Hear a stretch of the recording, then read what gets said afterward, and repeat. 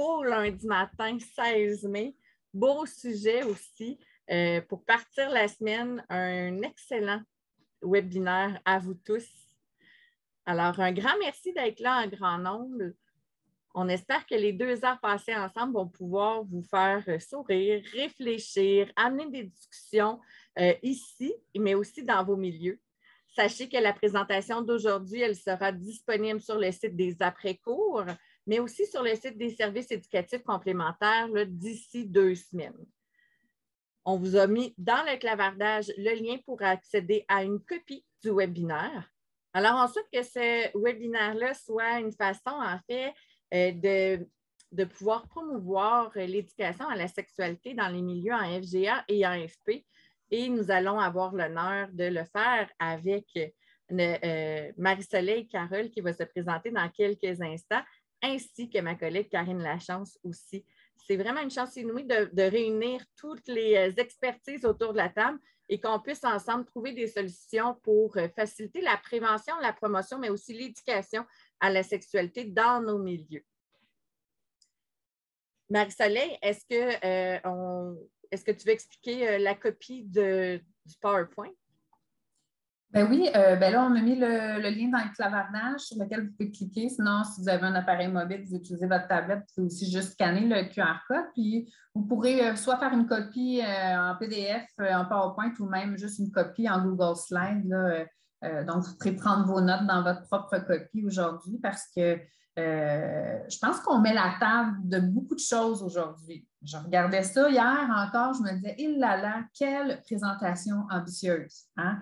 On va penser, euh, on, on, fait ce qu'il ne faut pas faire avec les élèves, là, on vous garoche plein de choses. J'ai l'impression ce matin. Fait que j'ai ça sera peut-être euh, une première de plusieurs euh, webinaires ou, autres, Karine, j'ose croire, parce que là, on va semer beaucoup de graines aujourd'hui. On verra après ce qui va fleurir avec cette belle température des derniers jours. Il y a aussi, là, on a la copie, mais je vous invite aussi tout de suite à aller ouvrir une nouvelle page de votre navigateur si vous êtes sur votre portable ou à utiliser votre téléphone cellulaire, tablette ou autre que vous avez à proximité, puis de tout de suite joindre le Slido, qui est un questionnaire interactif. Donc, vous pouvez encore une fois seulement euh, scanner le QR code ou aller sur slido.com et entrer le code là, 960641. Euh, Parce qu'au fil de la présentation, on vous posera quelques questions interactives. Donc, on voudra sonder euh, votre opinion et on veut voir ce qui se passe aussi chez vous. Et là, je pense, oui, Karine nous a mis dans, vous pouvez euh, aller dans le clavardage. Donc, je vais tout de suite passer euh, à l'autre diapo pour me présenter. Euh, donc, Karine l'a mentionné, je m'appelle Marie-Soleil, je suis conseillère pédagogique au Service national du récit dans le développement de la personne pour le dossier éducation à la sexualité euh, depuis 2018. C'est une chaise qui a été ajoutée avec l'arrivée des contenus obligatoires à la formation euh, euh, générale des jeunes. Je suis sexologue de formation. J'ai fait mon bac et ma maîtrise il y a déjà quelques années de ça. Et récemment, j'ai complété mon micro-programme en conscience pédagogique. Donc, c'est un peu mon, background finalement. et Karine m'a approché pour me demander si j'avais envie de venir donner un webinaire pour la FGA-FP, même si ce n'est pas ma clientèle habituelle. Et j'ai décidé de relever le défi. Donc, euh, j'espère que vous apprécierez ce qu'on a préparé euh, pour vous. Je vais peut-être laisser euh, Karine Lachance aussi se présenter ou. oui, bien, Karine Lachance, je te laisse te présenter, puis après ça, je vais présenter aussi les services complémentaires. Parfait. Alors, bonjour tout le monde. Je suis Karine Lachance.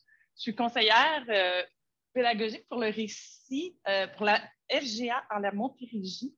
Donc, euh, s'il y en a ici qui sont dans un des neuf CSS de la Montérégie, euh, si jamais il y a des, euh, des, besoins au niveau du pédago numérique, c'est à moi qu'on fait appel. Donc, je vais soutenir Karine et Marie-Soleil aujourd'hui pendant la présentation.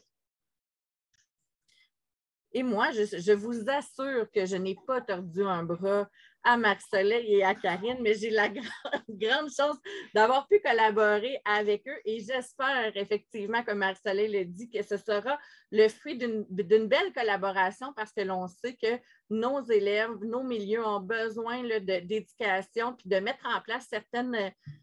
Euh, certaines activités, certaines aussi façons de faire. Hein. Euh, on parlait euh, juste avant le webinaire en pour les DEP, certains DEP à savoir comment on peut aborder ça, quoi que ce soit. Puis mon rôle, en fait, est vraiment euh, de soutenir le réseau euh, pour mettre en place des conditions favorisantes pour l'ensemble des élèves. Alors, depuis septembre dernier, ben, non, 2020, j'occupe le, poste qui n'existait pas avant d'orthopédagogue pour l'accompagnement national des centres FGA et des centres FP.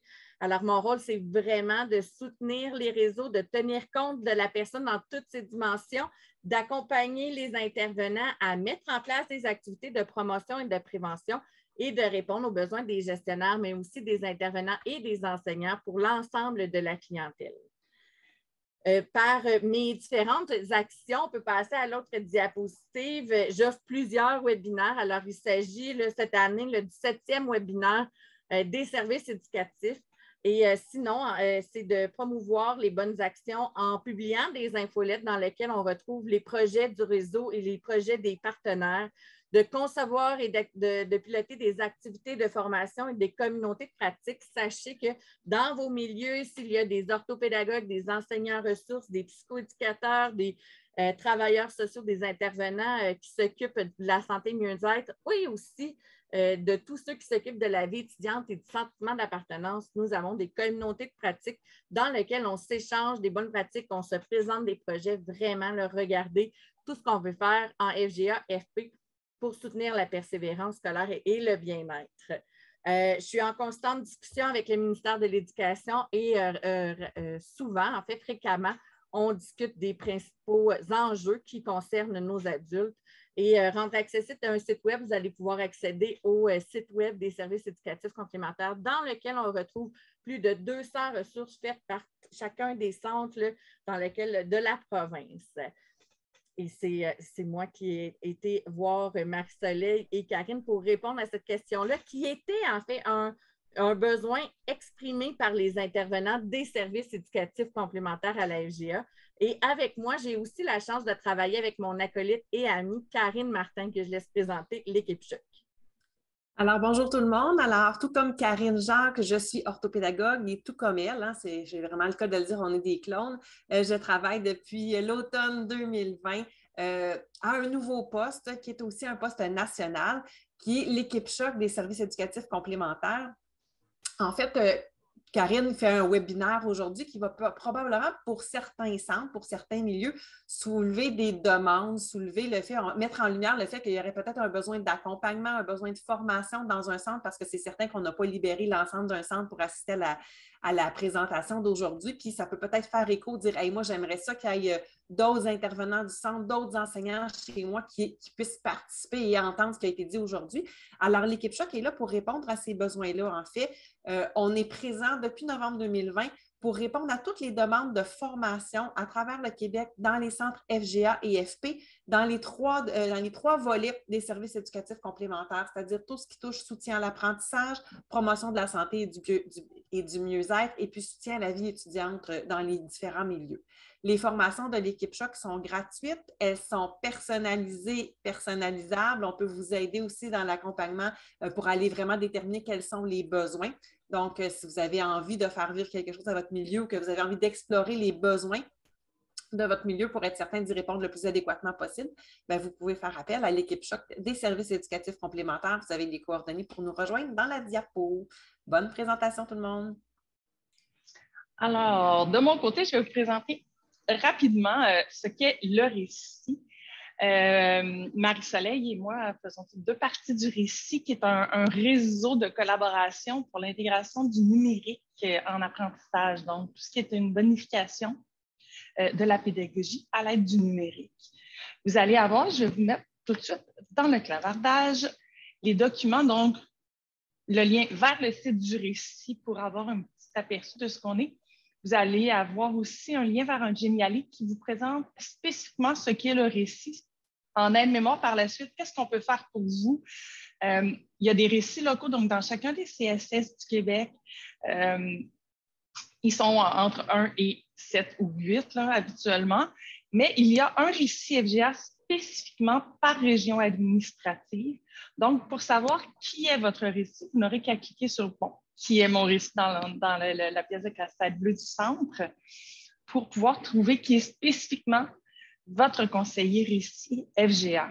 On est 17 au Québec s'occupant de la FGA, donc pour trouver le vôtre. Et il y a plusieurs services nationaux dont fait partie Marie-Soleil en éducation à la sexualité, mais il y en a pour les disciplines. Euh, donc, il y en a français, maths, sciences, techno, il y en a en univers social, en développement de la personne, gestionnaire scolaire. Donc, il y en a vraiment un petit peu partout. Je vous ai mis quelques liens utiles aussi. Ah oui, quatre ici aussi pour la formation professionnelle, qui sont des services nationaux. Donc, vous allez pouvoir avoir à l'intérieur de toutes les ressources et je vous dis, ça prend la peine, allez fouiner dans les sites. Il y a des petites perles de situations d'apprentissage déjà montées qui sont facilement adaptables pour les FGA quand elles ne sont pas déjà dédiées et adaptées pour vos cycles de cours. Et donc, à la lumière de ces belles présentations, euh, les intentions de la rencontre, je vous invite aussi à peut-être, si ça vous tente, aller dans le clavardage et inscrire euh, quelles sont vos, euh, vos, intentions à vous, que, que vos souhaits pour cette rencontre-là, qu'est-ce qui vous a amené à venir nous voir ce matin? Donc, euh, de notre côté, bien, ce qu'on voulait, c'était de, faire, de comprendre la sexualité euh, dans sa globalité, parce que comprendre la sexualité dans sa globalité permet de transmettre des bons messages aussi lorsqu'on décide euh, de faire des interventions et de l'éducation dans nos milieux, de vous sensibiliser à l'importance de l'aborder tout en, ayant un regard sur les différents enjeux qui touchent vos, clientèles, puis de partager des contenus accessibles, donc des outils qui peuvent être adaptés et utilisés là, dans vos milieux.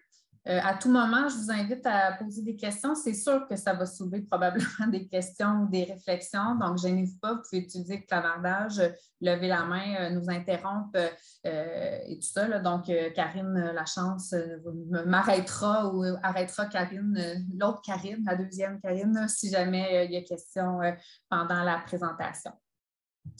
Euh, donc, je regardais le clamardage, voir, euh, nous allons euh, offrir le cours sexualité dans toutes ses dimensions, développer des outils. Donc, on, souhaite répondre à, ce besoin-là.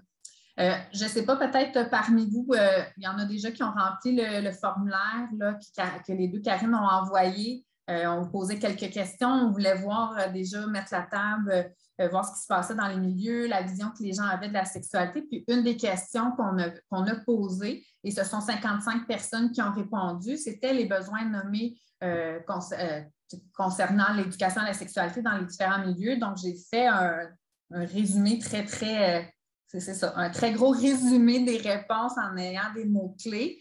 je ne sais pas, Karine Jacques, si tu voulais comme oui, mais en... quelque chose par rapport à ce qui avait été nommé euh, dans un premier temps?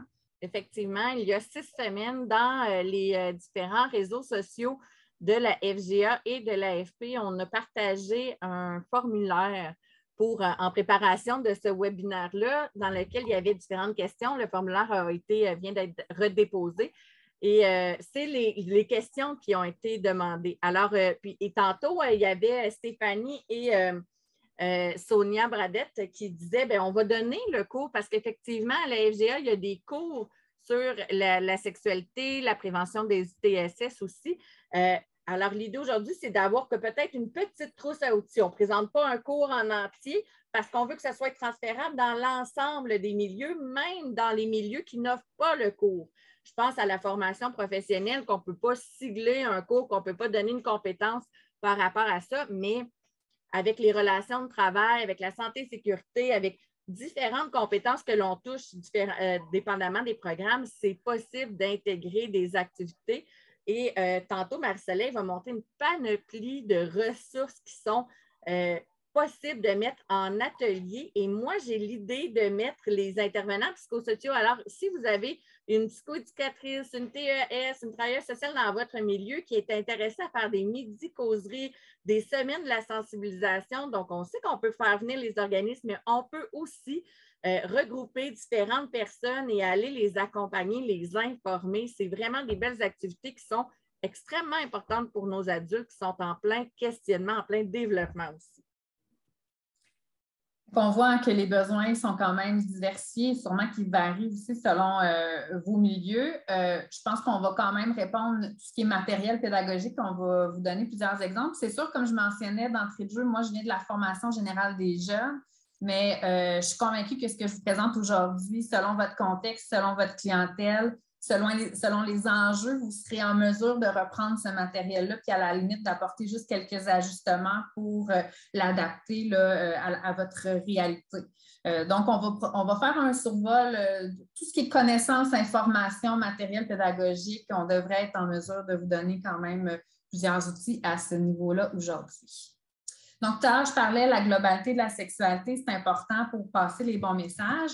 D'entrée de jeu, j'ai le goût de vous demander pour vous, c'est quoi la sexualité? Toujours intéressant d'aller euh, euh, poser la question, euh, que ce soit aux jeunes et moins jeunes, de voir c'est quoi le, regard qu'ils portent. Peut-être que vous avez déjà répondu dans le questionnaire, mais je vous invite quand même à le refaire. Donc, je vous rappelle, vous joignez le, le Slido, donc on vous laisse une ou deux minutes pour y répondre. Donc, pour vous, la sexualité, c'est. Donc, quelle serait votre définition de la sexualité? Si vous deviez l'expliquer, par exemple, à un jeune un jeune de votre, de votre milieu, de votre classe.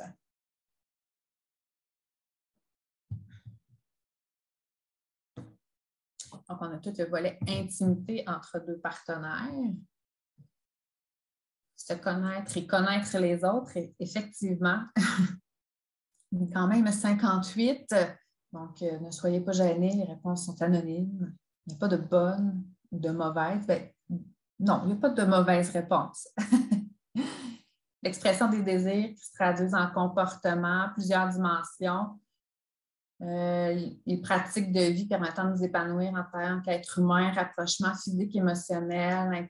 L'intimité revient beaucoup. Hein. On parle souvent d'une dimension qui est importante. Effectivement, la sexualité, c'est quelque chose qui, est là. Hein, on y pense peut-être pas, mais de notre naissance jusqu'à ce qu'on soit sur euh, notre lit de mort, si je me permets de dire ça ici ce matin. Euh, donc, bien se sentir, l'épanouissement, l'ensemble reproducteur. Donc, c'est intéressant euh, euh, les réponses que, vous donnez. ils s'entrecoupent. je suis contente de les lire. toutes les dimensions, c'est sûr que si vous êtes allé un peu plus loin dans la présentation, là, c'est facile de, donner la, définition de la sexualité. Donc, je me permets quand même de, de changer de diapo. Puis ça, c'est les réponses que d'autres avaient données dans le, dans le questionnaire. Et ce qui m'avait frappé, moi, dans les réponses initiales, euh, oui, Karine, je vois que tu as ton micro. Est-ce que tu voulais euh, intervenir? Non? OK, parfait. Euh, ce qui m'avait frappé, moi, le constat, c'est que les réponses qui avaient été données touchaient beaucoup l'aspect biologique, euh, tout ce qui était plus au niveau des pratiques, des comportements. Euh, puis pourtant, la sexualité, c'est beaucoup plus euh, que ça. À quelques reprises, des fois, il y en a qui ont parlé du genre, d'identité, tous les stéréotypes qui touchent la sexualité. des fois, on parle de, de la relation intime, relation affective. mais la plupart étaient plutôt dans les pratiques sexuelles et dans le côté plus biologique de la reproduction. Donc, ce matin, on voit que dans vos réponses, c'était quand même très variable. Là, je sais quelque chose. Donc, on, touche plusieurs euh, dimensions qu'on va voir ensemble ce matin. Euh, D'emblée, quand on fait nos formations d'éducation à la sexualité, on aime distinguer le sexe et la sexualité parce que des fois, on a l'impression que c'est un synonyme. Mais euh, la façon dont on l'apporte, c'est que le sexe, c'est un peu ce qu'on fait finalement. là, c'est tout le rapport au corps, la génitalité. Là, on est plus dans la relation sexuelle, la reproduction. Euh, là, on est plus dans le côté biologique, dans le comportement qu'on vit avec une ou des personnes. Tandis que la sexualité, là, on est plus dans ce qu'on est. On est plus dans les dimensions euh, psycho-affectives, relationnelles, tout ce qui est nos croyances, nos valeurs, c'est ce qu'on porte à l'intérieur, c'est la définition qu'on se donne comme homme, comme femme. Donc, il y a quand même une distinction à faire entre le sexe et la sexualité. Et ce qui m'amène à vous dire qu'il y a plusieurs dimensions à la sexualité. Donc, ce n'est pas juste euh, le côté biologique, donc toute la reproduction, les TSS, contraception, parce que souvent, hein, quand on parle de faire de l'éducation à, la, sexualité, on, on les changements, c'est difficile. Donc, si on veut aborder la sexualité, bien, on va s'en aller vers quelque chose dans lequel on n'est plus à l'aise. Donc, les TSS et la contraception, ce qui n'est pas mauvais du tout, vous allez voir un peu plus loin, mais c'est plus la mécanique, c'est tangible, on n'est pas dans les émotions. Donc, il y a tout le volet biologique qui est quand même important. La raison pour laquelle je vous présente les dimensions de la sexualité ce matin, c'est que quand on fait de l'éducation à la sexualité, c'est quand même important de prendre en compte toutes ces dimensions-là. Et j'ai même le goût de dire que socioculturelles et morales sont aussi importantes à, prendre en considération d'être sensible à ça. Parce que quand on fait de l'éducation à la sexualité, quand on parle de posture professionnelle et tout ça, on n'est pas là pour inculquer des valeurs, on n'est pas là pour donner le cadre.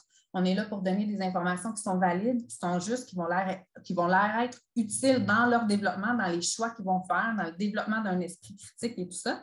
Euh, donc, si j'ai à définir socioculturel, bien là, vous avez toutes les normes sociales, les pratiques culturelles, les droits et libertés. Droits et libertés, quand on se retrouve au Québec, il y a quand même des lois euh, qui régissent certaines, certaines choses, mais quand on parle de pratiques de normes, ça peut varier selon notre, lunette ou selon notre parcours, d'où on vient. Euh, morale, ben, c'est toutes les valeurs, les croyances, les principes qui vont guider nos choix, qui vont guider notre sexualité. Psycho-affectif, on est tous dans l'affirmation du soi. Hein. Euh, c'est important tant au niveau de son image corporelle, son identité, euh, son Vous allez voir un petit peu plus loin, je vous présente des statistiques. L'affirmation de soi aurait avantage à être travaillée beaucoup. Vous allez voir quand on parle d'utilisation du condom. Euh, donc, on parle aussi d'expression des émotions, l'intimité affective et sexuelle. Quand on parle d'intimité affective et sexuelle, ce n'est pas toujours euh, clair, clair ce que ça veut dire et ce que ça implique. Puis, évidemment, il y a le côté tout relationnel. Hein. Besoin d'être en relation. On en a pendant la, pandémie de ce besoin de relation-là, la, relation à l'autre. Puis toute la communication, le consentement, toute la résolution de conflits, il y a tellement de travail à faire là, euh, parce que communiquer, euh, ce n'est pas simple. Donc, si on peut outiller un peu quand on fait de l'éducation à la sexualité en ce sens-là, ce n'est que positif. À la lumière de ce que c'est, je ne sais pas si vous avez des questions, commentaires par rapport à ce que c'est euh, la sexualité. Je trouve important toujours de mettre cette base-là, puis qu'on parte vraiment avec une définition commune de ce que c'est la sexualité. Mais dans un deuxième temps, à la lumière de tout ça, euh, je n'ai pas s'il y a question ou commentaire.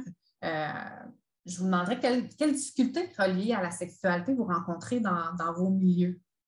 Qu'il y a des trucs que, vous voyez, que vous entendez, qui vous préoccupent, que vous dites aïe, aïe, aïe, peut-être que ça vaudrait la peine euh, qu'il y ait quelque chose qui se fasse à ce niveau-là. ou pas.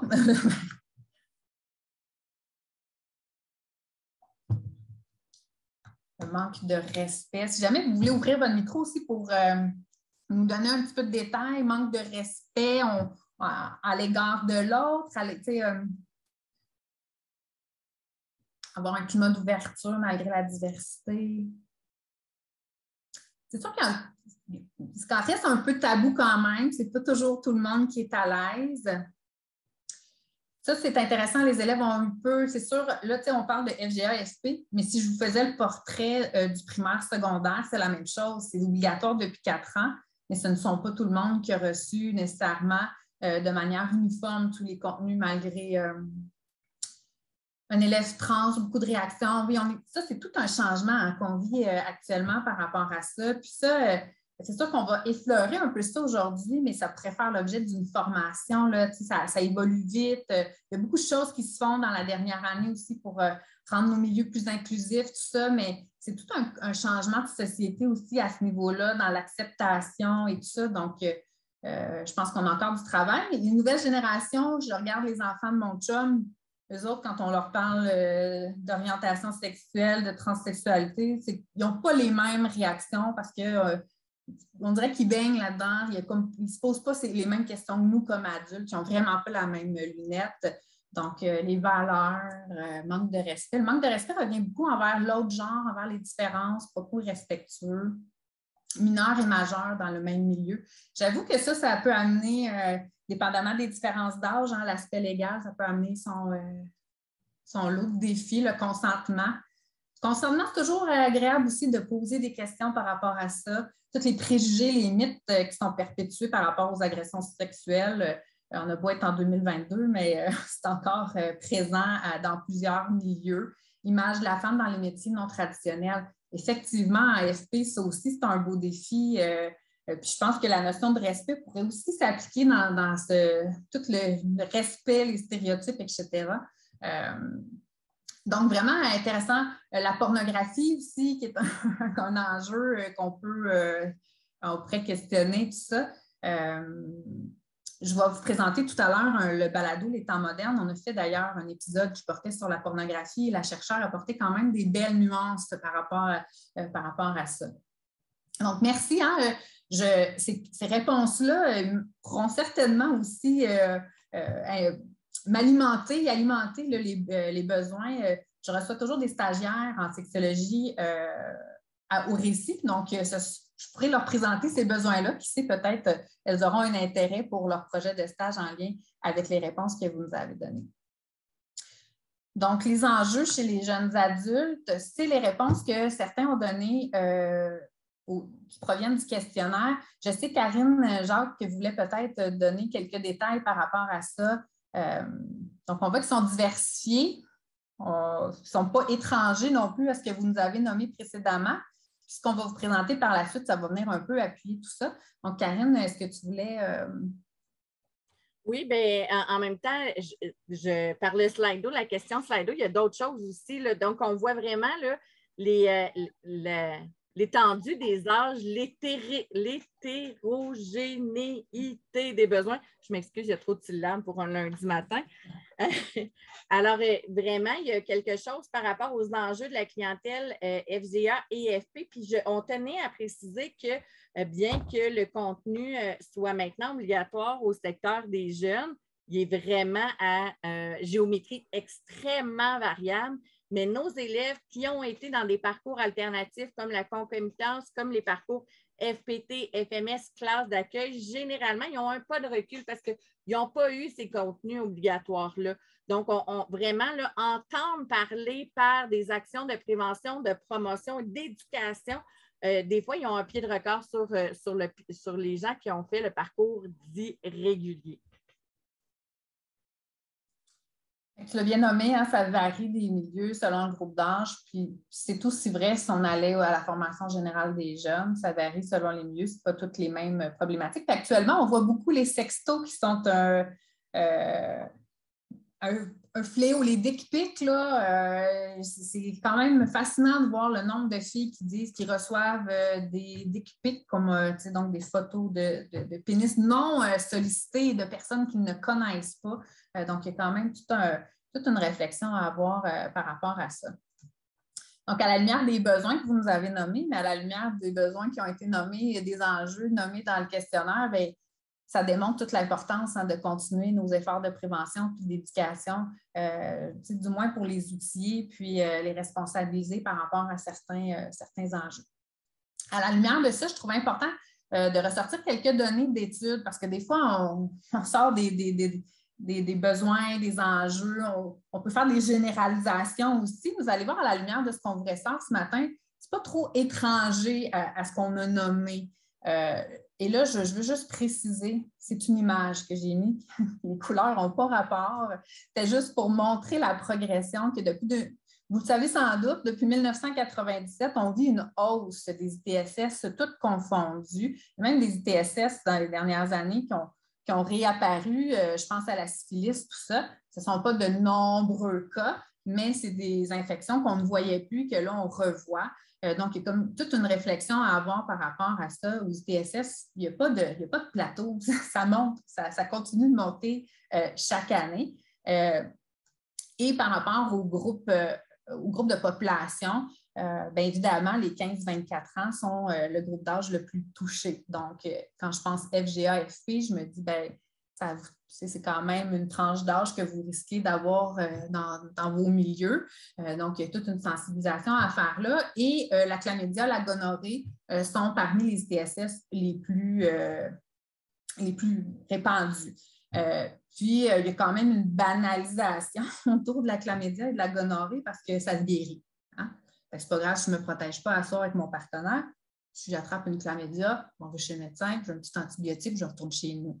Euh, mais euh, il y a quand même une préoccupation importante par rapport à la gonorrhée parce que depuis quelques années, il y a une résistance aux antibiotiques. Donc, qu'est-ce que ça veut dire? Bien, en quelques années, est-ce qu'on va avoir plus de difficultés par rapport à, soigner la gonorrhée ou en tout cas, on se retrouve avec une problématique actuellement par rapport à la gonorrhée. Donc, travailler un peu peut-être cette euh, banalisation-là. Je vois euh, Sonia en 2018 un rapport de la santé publique euh, intéressant. Merci du partage. Et moi, c'est les données de l'INSPQ, donc de l'Institut national de santé publique. Chaque année, ils sortent un, rapport. Moi, c'est les données de 2019. parce que vous voyez l'impact de la COVID sur le dépistage, bien évidemment, avec le délestage et tout ça, ça a nécessairement eu un impact sur notre, notre dépistage des ITSS. Je vous ai mis aussi les autres groupes de population qui sont plus touchés euh, par, euh, par les ITSS. Je trouvais ça intéressant parce que comme vous avez des contextes hyper variés, mais ça se peut que ces clientèles-là fassent partie des personnes que vous côtoyez. Donc, il y a les jeunes en difficulté, donc les jeunes de la rue. Vous avez les hommes ayant des, relations sexuelles avec d'autres hommes, donc les ARSA. Euh, les personnes utilisant des drogues, particulièrement les drogues injectables. On a les personnes incarcérées, les personnes originaires de régions du monde où la prévalence du VIH est plus élevée. On peut penser, euh, il y a certaines régions de l'Afrique où, euh, le, je pense que c'est le Mali, qui a eu une grosse étude à l'UQAM et tout ça, qui, qui, est problématique en termes de VIH. Les personnes ici des Premières Nations et des Inuits Là, vous allez vous dire, mais oui, mais pourquoi? Euh, ben, c'est tout au niveau euh, de la consommation de drogue, alcool, euh, au niveau de, de, leur, de, leur, milieu de vie, tout ça. Donc, plus propice là, à la propagation des TSS. Puis il y a les travailleurs et travailleuses du sexe qui font partie des groupes de population les plus touchés. Je tiens à dire que la collaboration avec la santé elle est vraiment, vraiment importante. Hein. Puis je sais qu'il y a des euh, intervenants qui, peuvent venir dans nos milieux euh, pour faire du dépistage, quoi que ce soit, mais on n'est pas dans une optique de, prévention, de promotion. Alors, on, offre une clinique, mais il y en a pour certains élèves qui ne savent même, qui vont faire le dépistage et qui ne savent même pas. Donc, toute l'éducation à ça, particulièrement, je pense à ma clientèle euh, qui était analphabète, ma clientèle qui est immigrante, on a vraiment à, éduquer en termes d'ITSS. L'éducation des ITSS, là, c'est bon, jeunes et moins jeunes, parce que maintenant, avec euh, les personnes se séparent. On, fait face à des familles reconstituées, à, des, plusieurs types de modèles relationnels. Donc, on se retrouve que euh, des gens qui sont plus vieux, qui n'ont pas eu nécessairement cette éducation-là et tout ça, on se retrouve aussi avec des ITSS, euh, une présence d'ITSS. Donc, l'éducation à ce niveau-là, hein, je pense que c'est une, histoire euh, sociétale. Je vous ai ressorti aussi l'étude Pixel. Peut-être que vous l'avez déjà vu passer. Elle date quand même de 2013-2014, mais je trouvais intéressant quand même de vous rapporter certaines données puisqu'ils euh, sont allés dans la formation professionnelle, la FGA aussi, pour recueillir des données. Moi, j'ai fait partie de l'équipe de recrutement. Donc, on allait vraiment dans les milieux. Euh, les, jeunes étaient invités à répondre à un questionnaire de manière anonyme et euh, ceux qui acceptaient, on testait tous les jeunes par rapport aux ITSS et tout ça. Donc, on voulait vraiment avoir euh, un portrait des conduites sexuelles, de la santé sexuelle des jeunes. Donc, ce sont, ce sont 3400 jeunes qui ont répondu et qui ont accepté de participer à l'étude, âgés entre 17 et 29 ans. Et pour ce qui est de la FGASP, c'est 31% des participants. Donc, quand même, il y avait quand même un bon bassin euh, à ce niveau-là. Je vous ai ressorti quelques données euh, qui peuvent être intéressantes, qu'on peut faire le pont avec les TSS, la protection, les relations, etc. Donc, si j'ai sorti la, statistique du nombre de partenaires, donc hier, je faisais euh, présenter les données à mon chum qui me disait, il dit, je suis surpris, tu sais, il dit, selon les stéréotypes, on aurait pu s'attendre d'avoir une différence significative entre les hommes et les femmes, et non. Sensiblement le même nombre de partenaires, autant pour les hommes que pour les femmes. Euh, les différences euh, significatives, c'est plutôt entre les différences d'âge. Donc, il y a vraiment un bon entre 17 et 20 ans et 21 euh, à 29 ans. Donc, vous voyez là, euh, où on retrouve le plus de, gens euh, qui ont répondu, ben, c'est quatre partenaires ou plus depuis depuis leur début de leur relation, de, leur vie sexuelle active. Et on parle de 38% chez les hommes de 17 à 20 ans et 69, 70% ben, chez les hommes de 21 à 29, 29 euh, ans. Et c'est sensiblement les mêmes euh, pourcentages pour les femmes. Donc, on voit qu'il y a quand même plusieurs partenaires. Toutefois, les personnes qui ont répondu, pour la plupart, étaient en couple. mais on voit qu'il y a quand même d'autres types euh, de relations qui euh, constituaient l'échantillonnage. Donc, on a autant des, gens qui avaient des partenaires d'un soir, euh, les amis modernes, amis ou connaissances, fuck friend, ou on peut nommer plusieurs synonymes. Les fréquentations, ça c'est compliqué, hein, même ça commence à l'adolescence, au secondaire. C'est une frec, c'est pas une frec, on le sait pas. puis l'ex-partenaire de couple. Donc, on voit qu'il y a quand même plusieurs types de relations selon les répondants. L'usage du condom, moi, c'est ce qui m'a quand même surpris dans les données. Puis probablement qu'on referait le, questionnaire et on aurait sensiblement les mêmes, les mêmes réponses, mais euh, j'ai entouré en rouge la donnée qui m'a surpris le plus. Donc, l'utilisation du condom lors de la plupart ou toutes les relations vaginales dans les 12 derniers mois. C'est sûr que quand on est en couple, euh, souvent le condom, il, prend le bord parce que la fille va prendre euh, un contraceptif ou si on a suivi les règles d'or, mais on a été se faire donc il n'y a pas de TSS et tout ça. Donc, ce n'est pas surprenant. Mais quand on va dans des partenaires autres que de couple, mais on voit que c'est quand même dans les deux cas, autour de 50, entre 50 et 60 des, des, répondants, qui, ont nommé ne pas utiliser, euh, qui n'ont pas utilisé utilisation, qui ont, qui ont utilisé le condom. Donc, c'est pas, c'est 50% des, un sur deux pratiquement euh, qui ont utilisé le condom. donc, quand on voit des données comme on a vu par rapport aux ITSS, peut-être là, vous allez me dire oui, c'est des conclusions hâtives. Oui, probablement, je n'ai pas mis les données ensemble, mais il reste que quand même, on peut faire euh, peut-être des liens et se poser des questions par rapport à ça. Le recours à une interruption volontaire de grossesse, sujet quand même d'actualité en ce moment. Hein, euh, je ne sais pas où on en est aux États-Unis, mais euh, nécessairement, ça a un impact sur nous même euh, au Canada. Mais reste qu'en 2013-2014, les répondants, on voit là, il y a, ce qui est quand même marquant, c'est qu'il n'y en a pas beaucoup qui n'en ont pas eu du tout. Là, on voit qu'ils ont tous eu au moins une fois il y en a plusieurs qui ont eu recours à l'interruption volontaire de grossesse. Et là, vous comprendrez que les données pour les hommes, c'est leurs partenaires euh, qui ont accompagné euh, à la clinique. Puis, euh, dans une autre étude, j'ai relevé la donnée où on disait que plus de 90% des femmes âgées entre 17 et 20 ans ont eu une grossesse non planifiée. Donc là, si on se met à mettre toutes les données ensemble de TSS, de condom, de DVG, on se dit, Caroline, tu sais, il y a quelque chose là, qui, euh, on, va se questionner, c'est où qu'il y a eu, y a eu un manque? Qu'est-ce qu'on peut faire finalement pour avoir un impact positif peut-être sur euh, ces données-là? Puis même, je m'étais noté, je ne l'ai pas mentionné, mais euh, par rapport à l'utilisation d'un contraceptif, il y avait quand même 21% des femmes âgées de 17 à 20 ans et 16% des femmes âgées de 21 à 29 ans qui ont mentionné avoir utilisé le coït interrompu comme méthode de contraceptive. Je ne suis pas en train de dire que c'est bon ou mauvais, je fais juste dire que ça demande quand même une connaissance énorme de son corps. Ça peut présenter plusieurs défis, donc on peut peut-être penser à une augmentation des risques, euh, mais de là l'importance d'amener une éducation pour faire de la prévention parce que ça a quand même son lot de défis, le, le, coït interrompu, puis on le sait que c'est pas fiable c'est loin d'être fiable à 100%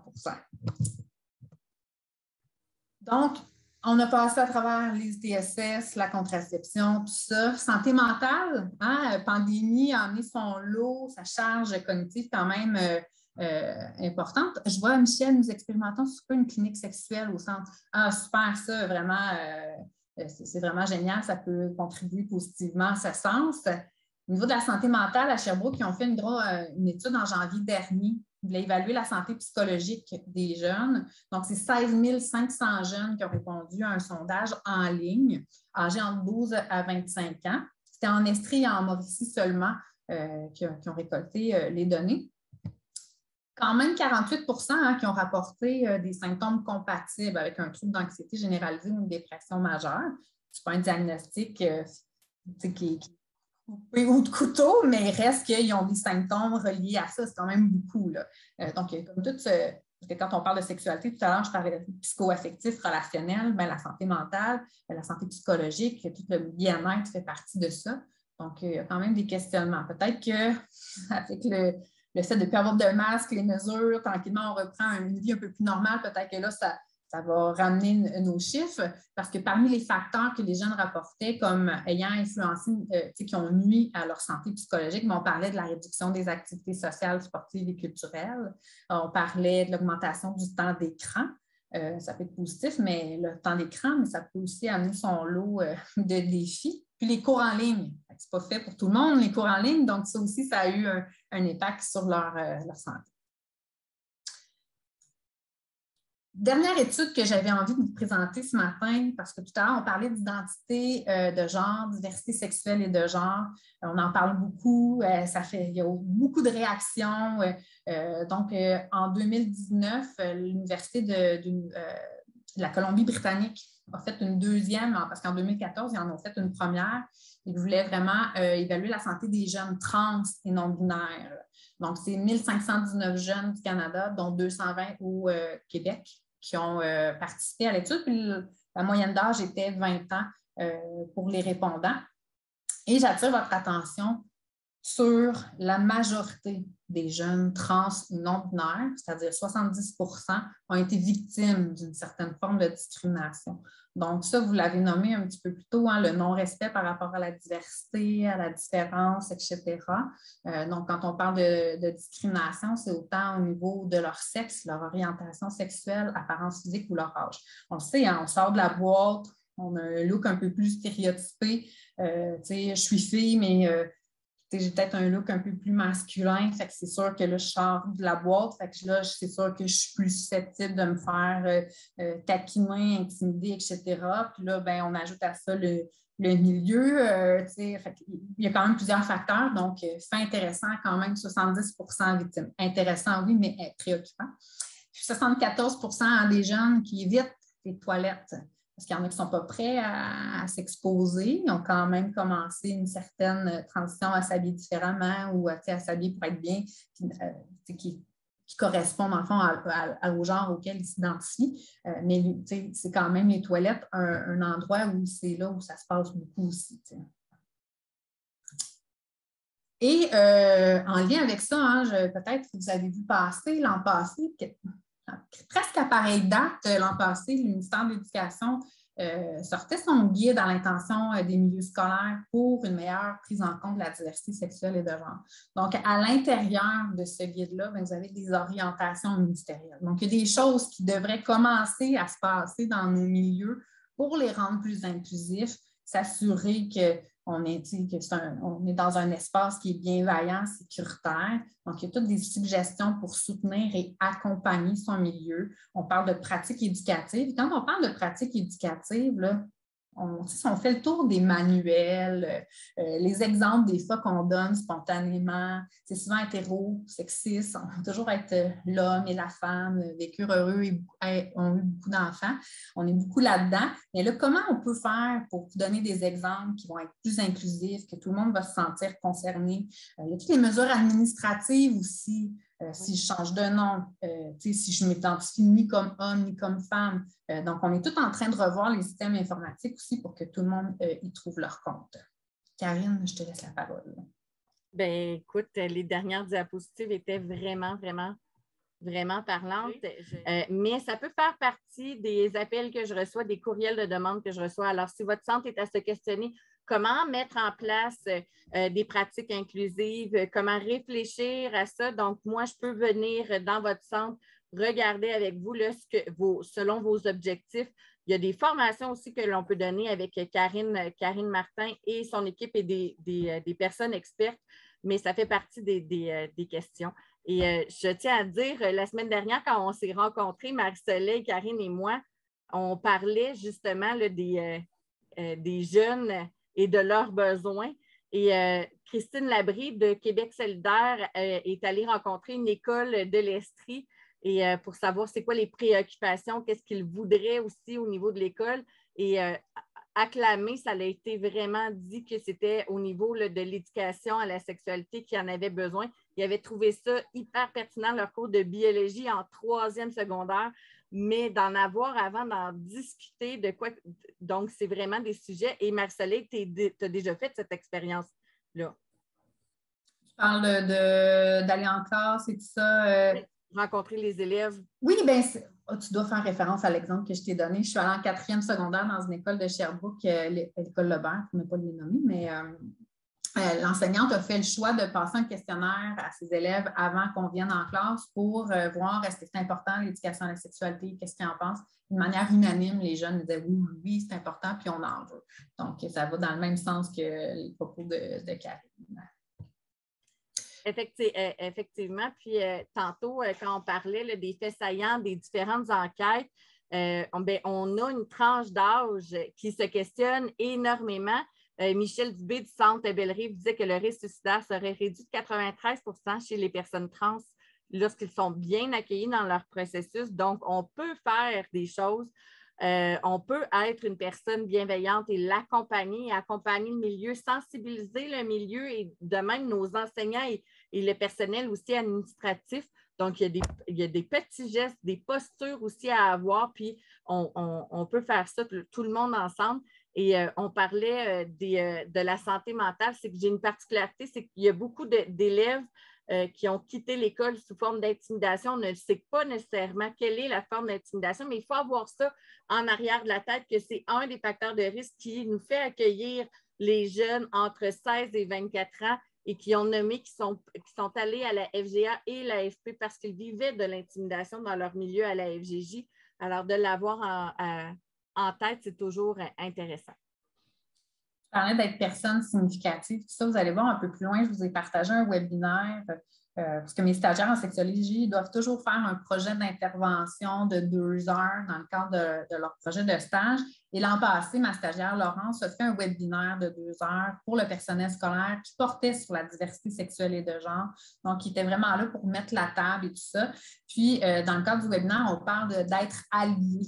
Donc, qu'est-ce que ça veut dire être allié de la diversité sexuelle et de genre? Ben, c'est par exemple, si j'entends un propos homophobe dans, mon, dans le corridor, ben, c'est c'est pas de fermer les yeux puis de passer à côté puis de faire semblant de rien. C'est tolérance zéro, on le nomme, euh, c'est d'utiliser des exemples plus inclusifs, tout ça. Elle, fait vraiment là, un tour de table de ce que c'est, qu'est-ce qu'on peut faire, tout ça. Euh, donc, vous aurez là, le lien un petit peu plus loin. Ça, donc, ça peut être intéressant des fois juste d'aller chercher la terminologie, le vocabulaire, pour voir ce qu'on peut initier euh, dans le milieu. Donc, quand on a nommé beaucoup d'enjeux, des besoins, tout ça, on commence par où finalement? Qu'est-ce qu'on peut faire? Qu'est-ce qui existe? Euh, puis, c'est quoi? Ça veut dire quoi faire l'éducation à la sexualité dans un contexte où on sait en FGA, FP, c'est un défi euh, ça peut être, ça, va être un défi de, de, ce que j'ai compris parce que j'ai fait mon éducation dans les dernières semaines par rapport à la FGA-FP. Euh, c'est un défi qui va être administratif, c'est un défi de temps, c'est un défi de nombre d'élèves, c'est un des, les défis, ce n'est pas juste au niveau euh, de ce que les jeunes rencontrent comme enjeu au niveau de leur sexualité, mais tout le reste aussi, comment on met ça en place. Donc, il y a quand même beaucoup de questionnements à, à avoir quand on parle d'éducation à la sexualité en FGA donc, on l'a mentionné, euh, Karine, je te laisserai peut-être, euh, je pense que tu voulais aborder tout ça, mais on, le nomme depuis le début, une variété d'interventions pour une variété de contextes. En, en éducation à la sexualité, on mise beaucoup sur l'importance d'adapter ces interventions selon à qui on s'adresse. Donc, à la lumière de ce que je vois, à la lumière des, contextes et des milieux diversifiés en GAFP, c'est tout autant euh, important d'adapter tout ça ça se peut qu'on ait un groupe qui soit rendu complètement ailleurs de par leur réalité. ça se peut que nos, nouveaux arrivants soient complètement ailleurs aussi. Donc, c'est important de, de vraiment s'adapter et de s'assurer qu'on réponde aux besoins. Puis que le niveau d'aisance va nécessairement aussi varier. Il peut varier selon à qui euh, on s'adresse, selon le contexte, le sujet ou la clientèle. Puis en attendant que l'ensemble des centres d'éducation pour adultes offrent les cours de la FBC, de la FBD euh, qui touchent des enjeux à l'éducation de la sexualité, bien, il y a des cours aussi euh, d'insertion sociale, d'insertion socio-professionnelle qui, peuvent se donner.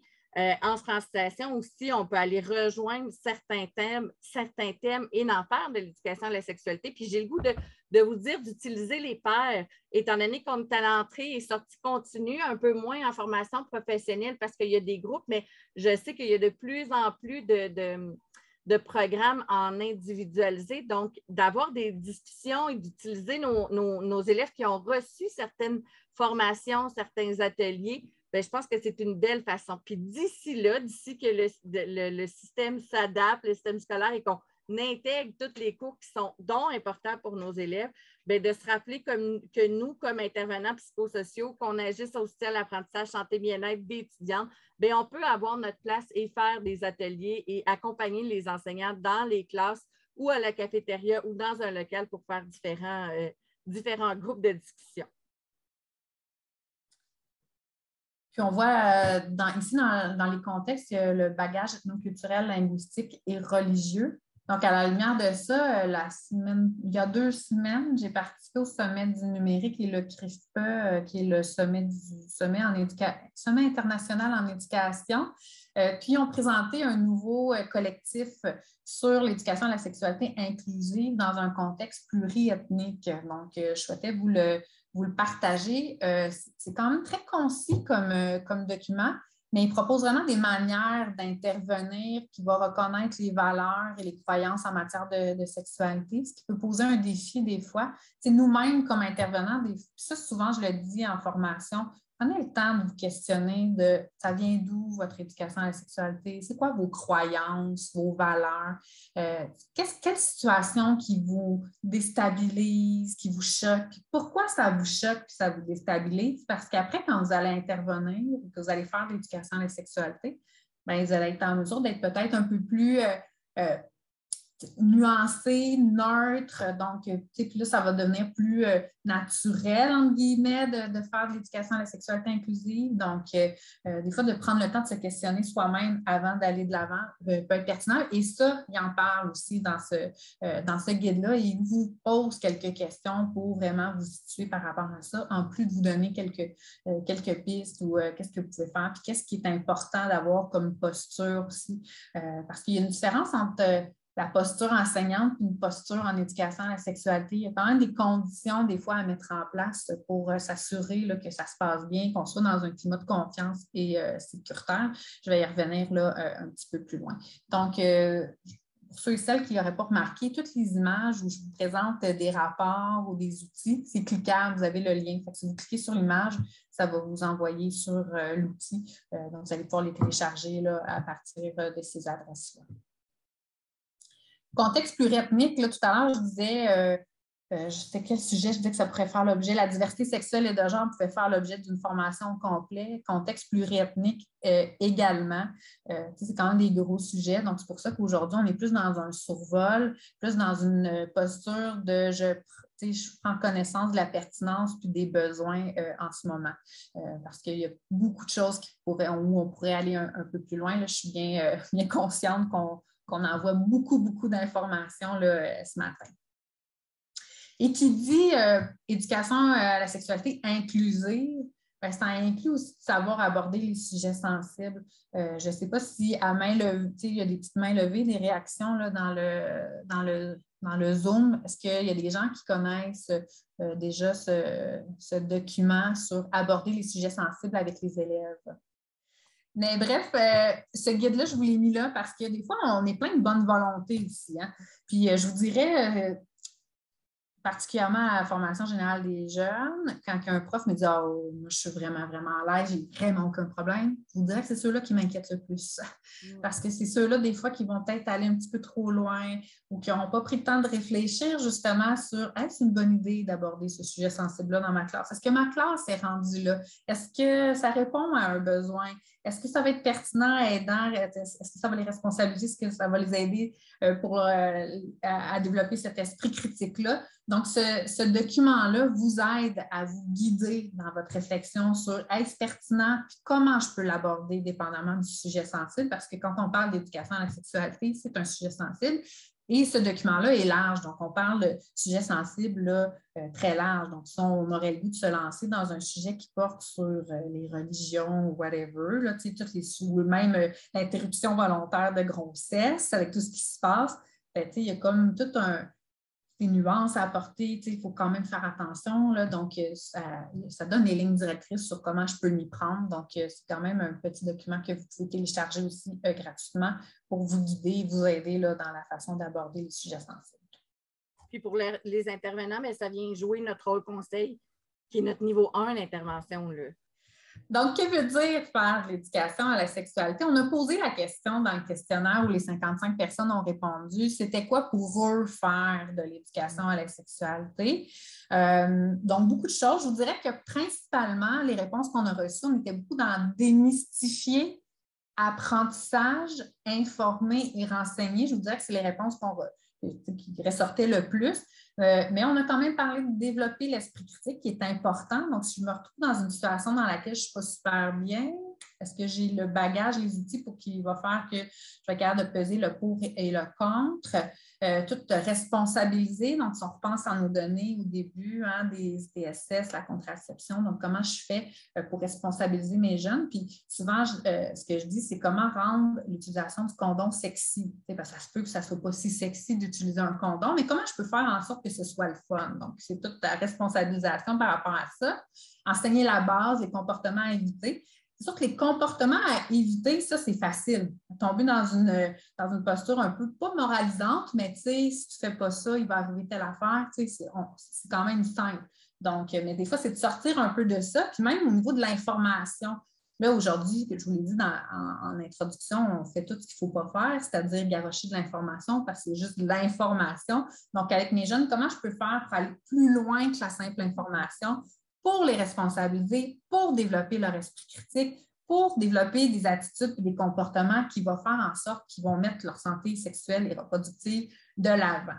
On parle de sensibiliser, puis échanger, discuter, partager. C'est important de les mettre en de, de les faire échanger entre eux, de, qui, qui, voient autre chose, donc pas juste une transmission. Là, je vois Karine, tu as ton micro ouvert, tu voulais-tu ajouter quelque chose?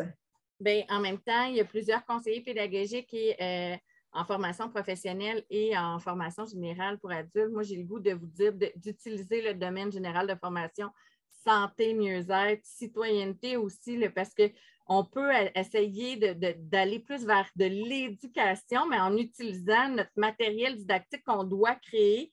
Et ça va venir, euh, c'est comme un deux dans un, tu sais, donc euh, euh, ça met à profit aussi toutes les connaissances, tout ce que l'on doit aborder on n'est pas, dans une posture nécessairement que juste informer, moraliser, mais on va venir euh, développer l'esprit critique tout en développant les compétences spécifiques au programme, euh, tant en FP qu'en FGA. J'aurais le goût aussi d'ajouter, de répondre aux questions, les échanges. L'éducation à la sexualité, ça peut être formel, donc on va vraiment être structuré, on va prévoir un cours, on va prévoir du temps. Ça peut être dans l'informel aussi. Là. tout à l'heure, je vous disais être un allié si on entend des trucs. Ben, c'est aussi ça, l'éducation à la sexualité informelle. C'est, d'utiliser une situation pour apporter de l'information et faire réfléchir euh, euh, les, jeunes ou notre groupe, euh, jeunes adultes avec qui on est. Donc, concrètement, faire de l'éducation, c'est un processus d'enseignement et d'apprentissage qui va porter sur les différentes dimensions de la sexualité. Je ne suis pas en train de dire qu'il faut nécessairement penser nos ateliers avec toutes les dimensions, mais c'est quand même d'être capable d'apporter euh, autre chose que des aspects cognitifs, d'aller aussi dans l'aspect affectif. Euh, des fois, l'éducation à la sexualité aussi, ça, peut être des amener à réfléchir, une réflexion personnelle, ce n'est pas nécessairement une réflexion collective, dépendamment euh, du sujet. c'est pour outiller dans le but d'atteindre une santé sexuelle, un bien-être sexuel, les aider à leur donner les moyens de prendre des décisions éclairées, donc des fois de les mettre en, dans une situation où qu'est-ce que tu ferais et pourquoi, puis d'évaluer un peu euh, la réflexion éthique d'une certaine manière. D'ailleurs, avec les nouveaux, le nouveau cours, euh, le programme euh, Culture et citoyenneté québécoise, ben, il y aura peut-être, ce sera peut-être plus facile aussi de faire le pont en éducation à la sexualité, puisque là, on va être dans une perspective sociologique, dans une perspective éthique. Puis, on les aide à intégrer harmonieusement la dimension de la sexualité à différentes étapes du développement. Puis là, ben, je trouve ça intéressant parce que j'avais des discussions avec les Karine souvent dans nos moments de préparation parce qu'il fallait que je fasse mon éducation sur la FGA-FP. Dépendamment à qui on, s'adresse, ben, c'est peut-être aussi s'il y a des parents dans nos groupes, ben, on peut les outiller aussi pour leurs enfants parce qu'ils ont, eux, oui, comme être sexués, mais il y a leurs enfants aussi, donc les différentes étapes du développement. Ce n'est pas la même chose quand je suis un adolescent versus euh, quand je commence ma ménopause. donc, c'est tous des changements. Donc, l'éducation à la sexualité aide à traverser ces différentes étapes de la vie. Tu as vraiment bien fait tes devoirs. En tout cas, Marie-Soleil, je tiens à saluer, euh, euh, vraiment extrêmement curieuse et sensibilisée et impliquée dans, dans les besoins de notre clientèle. Merci énormément. Merci, Karine. Puis évidemment, l'éducation à la sexualité, c'est favoriser le pouvoir d'agir et de réflexion. Donc, je pense que ça traduit un peu tout ça. Euh, donc, c'est de mettre en place des fois des interventions ou des questionnements euh, qui vont amener les jeunes justement à leur donner du pouvoir sur qu'est-ce qu'ils peuvent faire selon, euh, selon les situations. Donc, là, on a parlé de beaucoup de choses. On, a dit un peu c'est quoi l'éducation à la sexualité, ce que ça veut dire, etc. Vous, là, si euh, demain on vous disait il euh, faut que vous fassiez de l'éducation à la sexualité, on met en place quelque chose chez vous, quelle importance est-ce que vous accordez euh, à l'éducation à la sexualité? Souvent, je dis que les gens qui se présentent au webinaire, c'est un peu comme les gens qui ont déjà un intérêt ou du moins, tu sais, commencent à se questionner. Donc, c'est pas étranger de voir que 64% des gens ont répondu 5. Comme les questionnaires, hein, les sondages, c'est qui, qui, répond au questionnaire? Il y a déjà un billet à, ce niveau-là. C'est ceux qui ont un intérêt pour la cause, le sujet, ou euh, qui se sentent impliqués ou euh, touchés par euh, le sujet. Donc, on voit a quand même 4 et 5, ce qui, ce qui représente Là, je n'ai pas attendu parce que j'imagine que les 60 personnes ne sont pas tous et toutes connectées, mais le, euh, le portrait qu'on a là et aussi le portrait qu'on a eu dans, le questionnaire qu'on a envoyé euh, aux 55 euh, personnes. On va retourner voir s'il y aurait d'autres répondants. On est à 21, mais ça n'a pas bougé. On est toujours avec 5. Donc, les répondants aussi étaient dans la majorité de 5. Donc, plus de 50% ont répondu que c'était vraiment important l'éducation à la sexualité. Mais pourtant, quand on pose la question est-ce qu'il se passe des choses dans vos centres, on a 80% des gens qui nous disent non. Donc, euh, là, il y a plein de choses. Là. On préfère l'avocat du diable puis analyser le pourquoi. Puis je l'ai mentionné tout à l'heure, les enjeux ne sont pas juste, on peut trouver ça important, tout ça, il y a tous les enjeux administratifs de temps, etc. Euh, donc, ce qui peut expliquer sans doute c'est ce, pourcentage-là, mais quand même, c'est frappant de voir hein, qu'on s'entend tout pour dire que c'est super important, mais Colin, on a, de la misère à, avoir quelque chose euh, dans, nos milieux. Non, mais en même temps, j'en profiterais peut-être pour ouvrir le micro. On est à la euh, mi-webinaire, puis euh, on sait qu'il n'y a pas beaucoup d'ateliers qui sont en lien avec l'éducation à la sexualité qui sont vécus, mais s'il y en a qui ont des, euh, des expériences, des choses que vous avez fait, des organismes que vous avez collaboré avec, avec, euh, ben, on est intéressé à les savoir. Ça va peut-être nous aussi. Il y avait euh, le CSS-RDN qui avait une, collaboration avec une infirmière. Il y avait aussi le Centre Bellerive qui faisait prochainement des ateliers avec un organisme. Donc, qu'est-ce qui se passe aussi de votre côté, Madame Boucher? Oui, ben nous, ce qu'on a fait euh, en collaboration avec les TES, dans le fond, on a fait une tournée de classe, on a fait une semaine thématique sur la sexualité. Puis euh, c'était un, euh, c'était un chaos qu'on faisait dans toutes les classes de la FGA, autant FBD que FBC. puis ça suscitait vraiment les discussions, les sujets étaient variés, donc sur les ITSS, sur la diversité sexuelle, sur le, le, volet un peu plus relationnel. Puis euh, par la suite, ben, ceux qui avaient, qui avaient eu les meilleurs résultats étaient invités là, comme euh, pour un chaos euh, final des grands gagnants. puis là, c'était un moment un peu plus rassembleur qu'on avait fait là, dans notre l'espèce d'entrée de, au, bas dans notre école.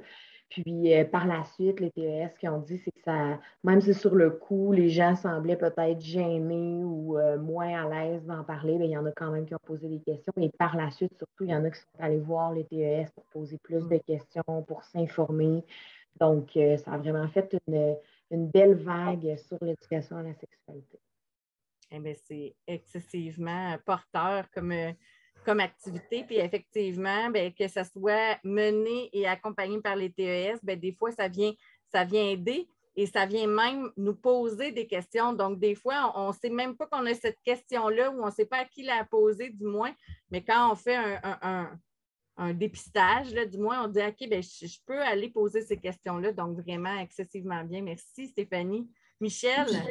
Ben, avant que Michel prenne la parole, j'ai le goût de, rebondir sur ce que Stéphanie, parce que j'ai des collègues aussi qui ont fait ça, puis c'est effectivement très porteur. Des fois, c'est d'utiliser aussi les semaines de prévention comme prétexte. Je pense euh, euh, à Saint-Hyacinthe, ma collègue, euh, ils ont organisé, là, je me souviens plus exactement c'est quand dans l'année, mais par rapport à la diversité sexuelle et de genre. Ils ont vraiment utilisé le momentum de cette semaine-là ou d'une journée euh, nationale par rapport à un sujet.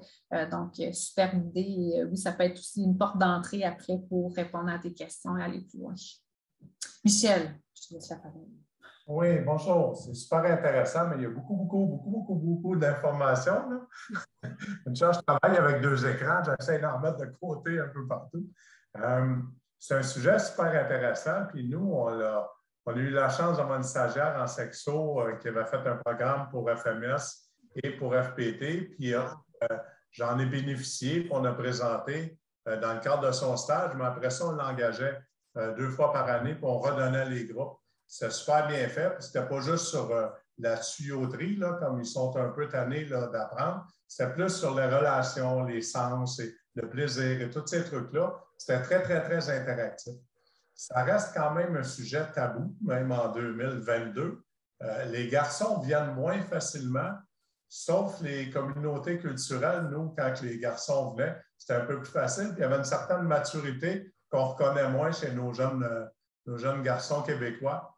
Euh, il y avait un échange, il y avait moins de, c'était moins tabou pour eux. Euh, mais un coup que les garçons ils ont commencé à venir, non, les filles viennent pour explorer, ils en parlent aux gars, puis là, les gars, ils arrivent, on est capable de répondre à la demande. C'est vraiment, vraiment spécial. Puis là, ce que je marquais un petit peu dans le, je ne pourrais pas en marquer tout le détail, mais nous, avec le CLSC, il y a une clinique euh, en santé sexuelle. On les a sollicités, puis ils vont venir présenter des, ateliers et ils vont aussi venir euh, offrir des services comme une clinique, mais au centre. Euh, une ou deux journées semaine. On commence, on explore pour, pour, cette fois-ci. je pense que la pandémie a aidé aussi parce que soit qu'il y a un gros boom chez eux ou qu'ils ont passé, ils ont passé de demandes, donc ils sortent un peu du CLSC, fait qu'on va en bénéficier. on commence ça la semaine prochaine. Ben, c'est super intéressant. Je retiens deux choses parce que l'an prochain, mes deux stagiaires, j'avais dit d'ailleurs à Karine Lachance que j'allais les mettre sur la, FGA pour développer un programme. Mais quand on parle aussi que les gens ils viennent pas tout le temps, c'est que l'éducation à la sexualité aussi, hein, faut, comme tout le lien de confiance à créer aussi avec le groupe et tout ça, hein, parce qu'on le nomme, hein, c'est tabou, ça peut être gênant, puis euh, selon euh, selon où on en est rendu. Puis là, la, particularité aussi des écarts d'âge, ça peut être un peu intimidant, mais bref, c'est super intéressant ce que vous avez mis en, place. Puis euh, je serais curieuse, j'entrerai peut-être en contact avec toi, Michel, pour euh, te questionner sur euh, justement le programme que vous avez mis en place là, avec la, stagiaire. Hum. Merci du partage. Plaisir. Qu'il y avait d'autres interventions? Je pense qu'il y en a beaucoup qui viennent s'inspirer, puis ça sert à ça aussi, les webinaires des services éducatifs euh, complémentaires et les communautés de pratique que Richard euh, euh, pilote et coordonne. donc, vraiment, essayez de vous inspirer pour mettre, aller un peu de l'avant. Ça reste un pas de plus. Donc, on vient de, de, regarder avec les différents organismes comme s'explique, Stéphanie, elle vient de le remettre dans le, clavardage. Michel, la collaboration aussi avec euh, les, une sexologue et le milieu de la santé, vraiment, c'est quelque chose à aller explorer. Euh, aussi avec les, euh, policiers, les policiers communautaires aussi peuvent venir faire des, ateliers de prévention dans les classes. Donc, c'est souvent disponible au secteur des jeunes, mais il faut des fois créer le lien directement avec eux pour euh, répondre en fait aux besoins. Donc, je vous invite à aller euh, chercher euh, de l'aide ou des bras en fait pour mousser l'éducation à la sexualité. Oui, puis avec le secteur jeune, il y a déjà beaucoup de ponts qui ont été faits avec les organismes communautaires. Donc, il y en a déjà qui sont tout faits, des contenus et tout ça. Il y en a qui ont même adapté leur offre de service. Donc, ça peut être intéressant vraiment de se tourner vers ces belles ressources-là. Oui, Caroline. Oui, bien merci. Dans le fond, moi, je suis psychoéducatrice. Puis, ben, mon intérêt d'être là ce matin, c'est évidemment parce que, ben, euh, on en a, on le voit que notre clientèle est plus vulnérable, euh, que ce soit dans où est-ce qu'ils sont rendus dans leur développement. Euh, des fois, en alphabétisation présecondaire, on va voir souvent des comportements plus inadaptés, plus inadéquats. Ça on voit qu'il y a de l'éducation, de la sensibilisation qui est à consolider, tout ça. Puis, nous, on n'a pas de cours en ce moment au niveau de l'éducation à la sexualité, si je ne me trompe pas on a une option, on a une option sexo. Je me questionnais, j'imagine, euh, quand on est dans les cours options, c'est presque tout le temps comme en Moodle. ça se donne euh, les élèves, en tout cas, nous, comment ça, fonctionne, sont dans une classe de français ou de sciences, puis ils avancent dans leur euh, option en solo. C'est là où est-ce que je trouve la plus-value de l'éducation à la sexualité, toute l'importance du dialogue dont vous avez parlé, d'aller chercher les jeunes, où est-ce qu'ils sont. moi, je, vois l'importance d'amener quelque chose comme une semaine thématique où est-ce qu'on met de l'avant qu'est-ce qui est expliqué euh, d'une participante avant. Je pense que c'est des, initiatives importantes à prendre. On a une infirmière, nous, qui a des présences écoles, qui est là, puis qui fait du dépistage sur place. Puis c'est le genre de choses qu'on peut, peut mettre de l'avant mais c'est au niveau de ce qui peut se passer dans les classes en termes enseignants que je me demandais s'il y a des places où est-ce qu'il était rendu vraiment à rendre ça vivant ou si presque partout on est plus dans du euh, Moodle individualisé, pas de discussion possible. Karine euh, répondre euh, plus par rapport au Moodle, mais moi, ce que je trouve intéressant, parce que pendant la pandémie, on s'est beaucoup questionné sur est-ce qu'on donne nos cours d'éducation à la sexualité, si on garde l'éducation à la sexualité, parce qu'on ne se cachera pas au milieu des jeunes, l'éducation à la sexualité et pandémie, ça a comme pris le bord un peu, là, euh, probablement avec raison, mais on a quand même eu le souci de ben, ça se fait-tu à distance, ça se fait-tu sur le web? quand j'entends Moodle, dépendamment des clientèles, tout ça, je me dis, il euh, il y a peut-être un questionnement à avoir là pour un sujet sensible, tout ça, de la façon, euh, il y a quand même des questionnements à avoir. Donc, Karine, je te laisse, euh, je te laisse répondre à, Caroline. Oui, bien, merci, Caroline. tu sais, souvent, c'est dans des situations délicates comme ça qu'il y a des changements, puis il y a une mobilisation qui va faire. Fait que dans cet accompagnement-là, dans cette, dans cette intervention-là, je crois qu'il y a un, processus réflexif à avoir avec l'équipe centre. Donc, oui, il y a des cours. Il y a des cours pas juste non plus en FBD qui donnent des crédits de cinquième secondaire, mais il y a des cours aussi euh, à la FBC. Il y a des cours, euh, il y a des thèmes en francisation. Quand on parle euh, de, de, connaissance de soi, de parler de ses émotions, de regarder aussi toutes euh, les différentes parties du corps, ne serait-ce que euh, dépendamment de la dimension qu'on peut essayer d'introduire en francisation. Puis en formation professionnelle, je sais qu'il euh, y a des centres qui, je pense au domaine de la santé, qui ont été faire vivre des ateliers avec, par exemple, des, personnes trans, avec aussi au niveau de toute l'intimité au, au, niveau des personnes qui sont euh, du troisième âge, quoi que ce soit. Donc, c'est toutes des choses qui peuvent s'imbriquer là-dedans. Euh, et euh, pour d'autres exemples, je, je, saurais citer le Centre du Christ-Roi à Mont-Laurier qui a fait un mois de, du bien-être et dans lequel il y avait du contenu à, l'éducation à la sexualité dans, l'ensemble de ces dimensions et c'était mis par les services éducatifs complémentaires. Donc, vraiment, il y a, il y a plein de belles petites alternatives euh, qui se font ici et là. Euh, les cycles de la FBC, je vais vous les trouver, je vais vous les mettre dans le clavardage Catherine Dalpé comme CP, c'est toujours intéressant. Il y a des cycles aussi euh, en ISP pour la FGA et il y a un cours sexualité en IS aussi, là, je peux vous les trouver.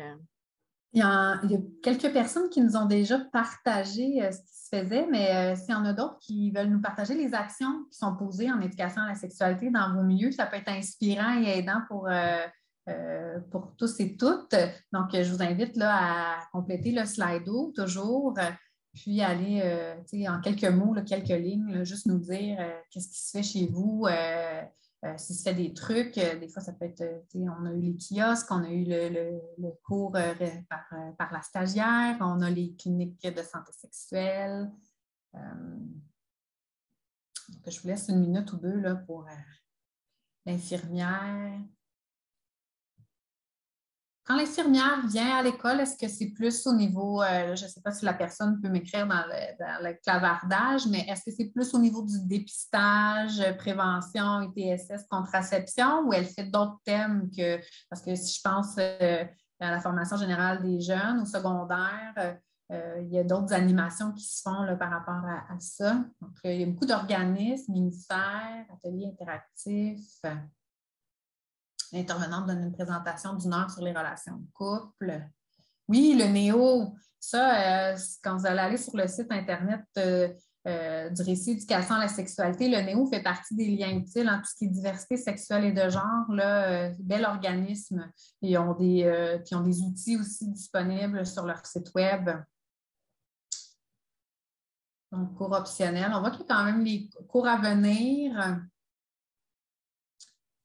Donc, atelier pour faire cours optionnel. L'infirmière fait des, périodes de dépistage. D'autres thèmes pourraient être abordés, mais depuis la. Oui, c'est ça. C'est sûr que là, la pandémie, même euh, partout, là, au niveau des infirmières, il y en a beaucoup qui, donc, avec tout le délestage, qui ont été euh, euh, rapatriés ailleurs. C'est sûr que là, on a, vécu des changements. Peut-être qu'on va revenir là, plus à la normale, mais quoi qu'avec la pénurie, on ne sait pas, mais il faut des fois repenser nos activités donc, on voit qu'il y a quand même des kiosques qui se fait thématique en classe. En parlant, OK. Là, c'est beaucoup de questions, j'oriente les discussions. Donc, c'est intéressant. Donc, ça, euh, les questions, euh, toutes les slides, euh, les réponses que les gens ont données, je vais faire des captures d'écran et je vais vous les ajouter dans, vos, dans la présentation euh, qu'on vous a partagé. Donc, quand vous allez rouvrir le lien de la présentation, dans euh, probablement demain, vous allez voir que j'ai ajouté les réponses des gens. Donc, si vous souhaitez vous inspirer de ce que les autres personnes ont écrit, ben, vous aurez la chance. Puis, bon, on ne se reconnaît pas, c'est anonyme. Donc, euh, donc l'importance de l'éducation à la sexualité à la lumière de ce qu'on a mentionné hein, tout à l'heure. Merci hein, pour vos partages d'ailleurs. tout d'abord, super intéressant. Puis probablement qu'on aurait pu faire l'objet d'une présentation aussi de partager ce qui se fait, comment on fait, etc. Euh, puis regarder ce qu'on peut faire aussi euh, euh, de mieux ou apporter de, plus.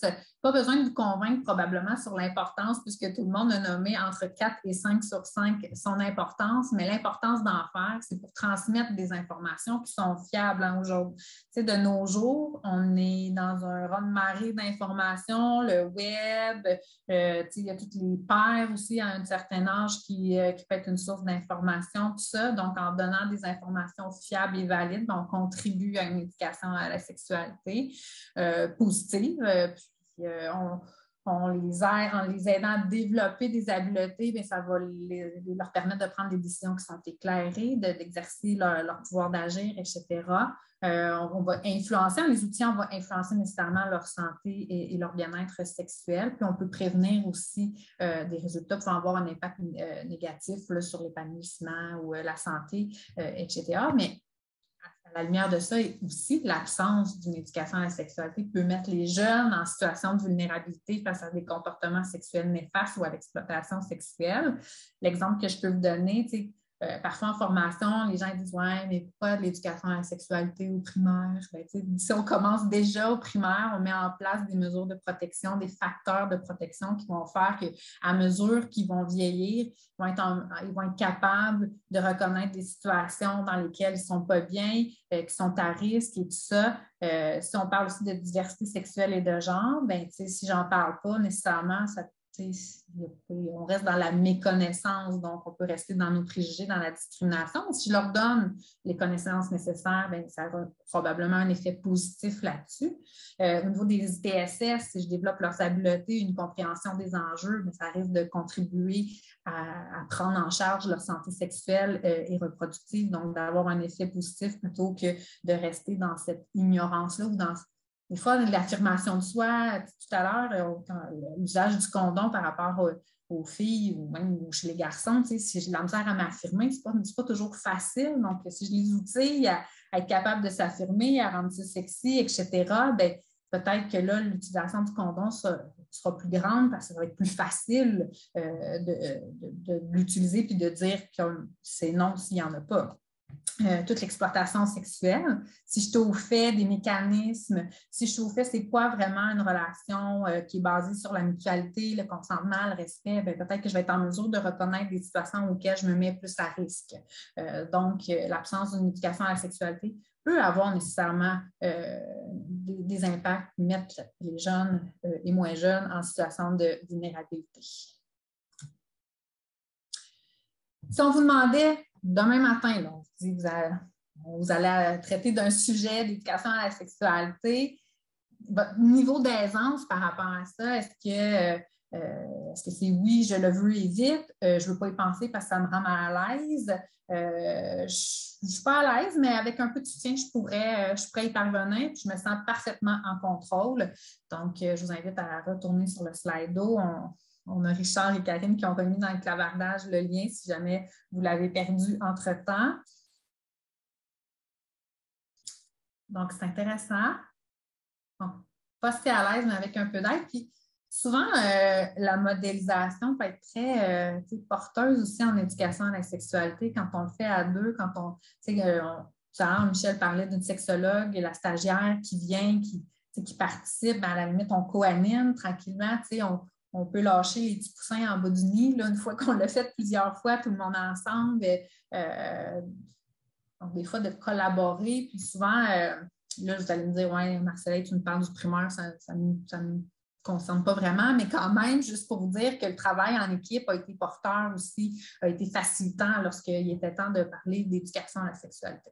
Donc, on voit que la majorité des gens, hein, on, leur donnait un petit peu de soutien, euh, il y aurait le goût de, se lancer. Puis pour le reste, bien, tout le monde semble, euh, oui, je le veux vite et euh, je me sens en, parfait contrôle. Donc, c'est quand même le reflet des réponses qu'on avait eues aussi euh, dans le, questionnaire. Donc, nos 55 répondants, euh, les personnes qui n'étaient pas du tout à l'aise. Donc, même que 50% des gens ici disaient qu'ils étaient en parfait contrôle. donc, mettons vite des, solutions en place. Marie-Soleil, je me permets juste euh, suite au, euh, commentaire de Michel tantôt, essayer de gérer tous les partages de documents qu'il y a dans la présentation. Je vais vous mettre dans le clavardage. Je viens de le faire pendant que vous discutiez. Je vous les ai tous répertoriés dans un seul et unique lien. C'est un agrégateur de signets. Parce que là, je pense qu'on essaie d'écouter, on essaie de répertorier. Prenez des notes. Tout ce qu'il y a dans la présentation, vous n'aurez pas besoin de refaire toutes les diapos pour réaccéder aux ressources. Vous allez toutes, là, elles sont ordonnées dans l'ordre qu'elles ont été présentées depuis le début. S'il y en a d'autres, je vais les ajouter à mesure en rafraîchissant votre page. Vous allez les avoir. écoutez, profitez de la présentation et du webinaire. Je m'occupe de vous faire un seul lien avec tous les liens. C'est bon? Merci, Karine. Et c'est du quoi, je, ferai, je pense, la même chose pour mes prochaines, euh, prochaines rencontres Mais c'est aussi le pourquoi on, on, donnait accès à la présentation pour que vous n'ayez pas à les mettre directement dans vos favoris ou quoi que ce soit, mais que tous les liens se retrouvent dans la présentation euh, slide que, vous avez en, copie pour prendre vos notes et pouvoir accéder en fait aux liens. La responsabilité partagée, Marc-Soleil, c'est l'idée, c'est que ça n'appartienne pas à un cours, euh, mais que ce soit l'ensemble des intervenants. Donc, de l'accueil euh, jusqu'à la sortie, jusqu'à la salle d'évaluation, mais tout le monde a son, son, mot à dire, a son geste à faire.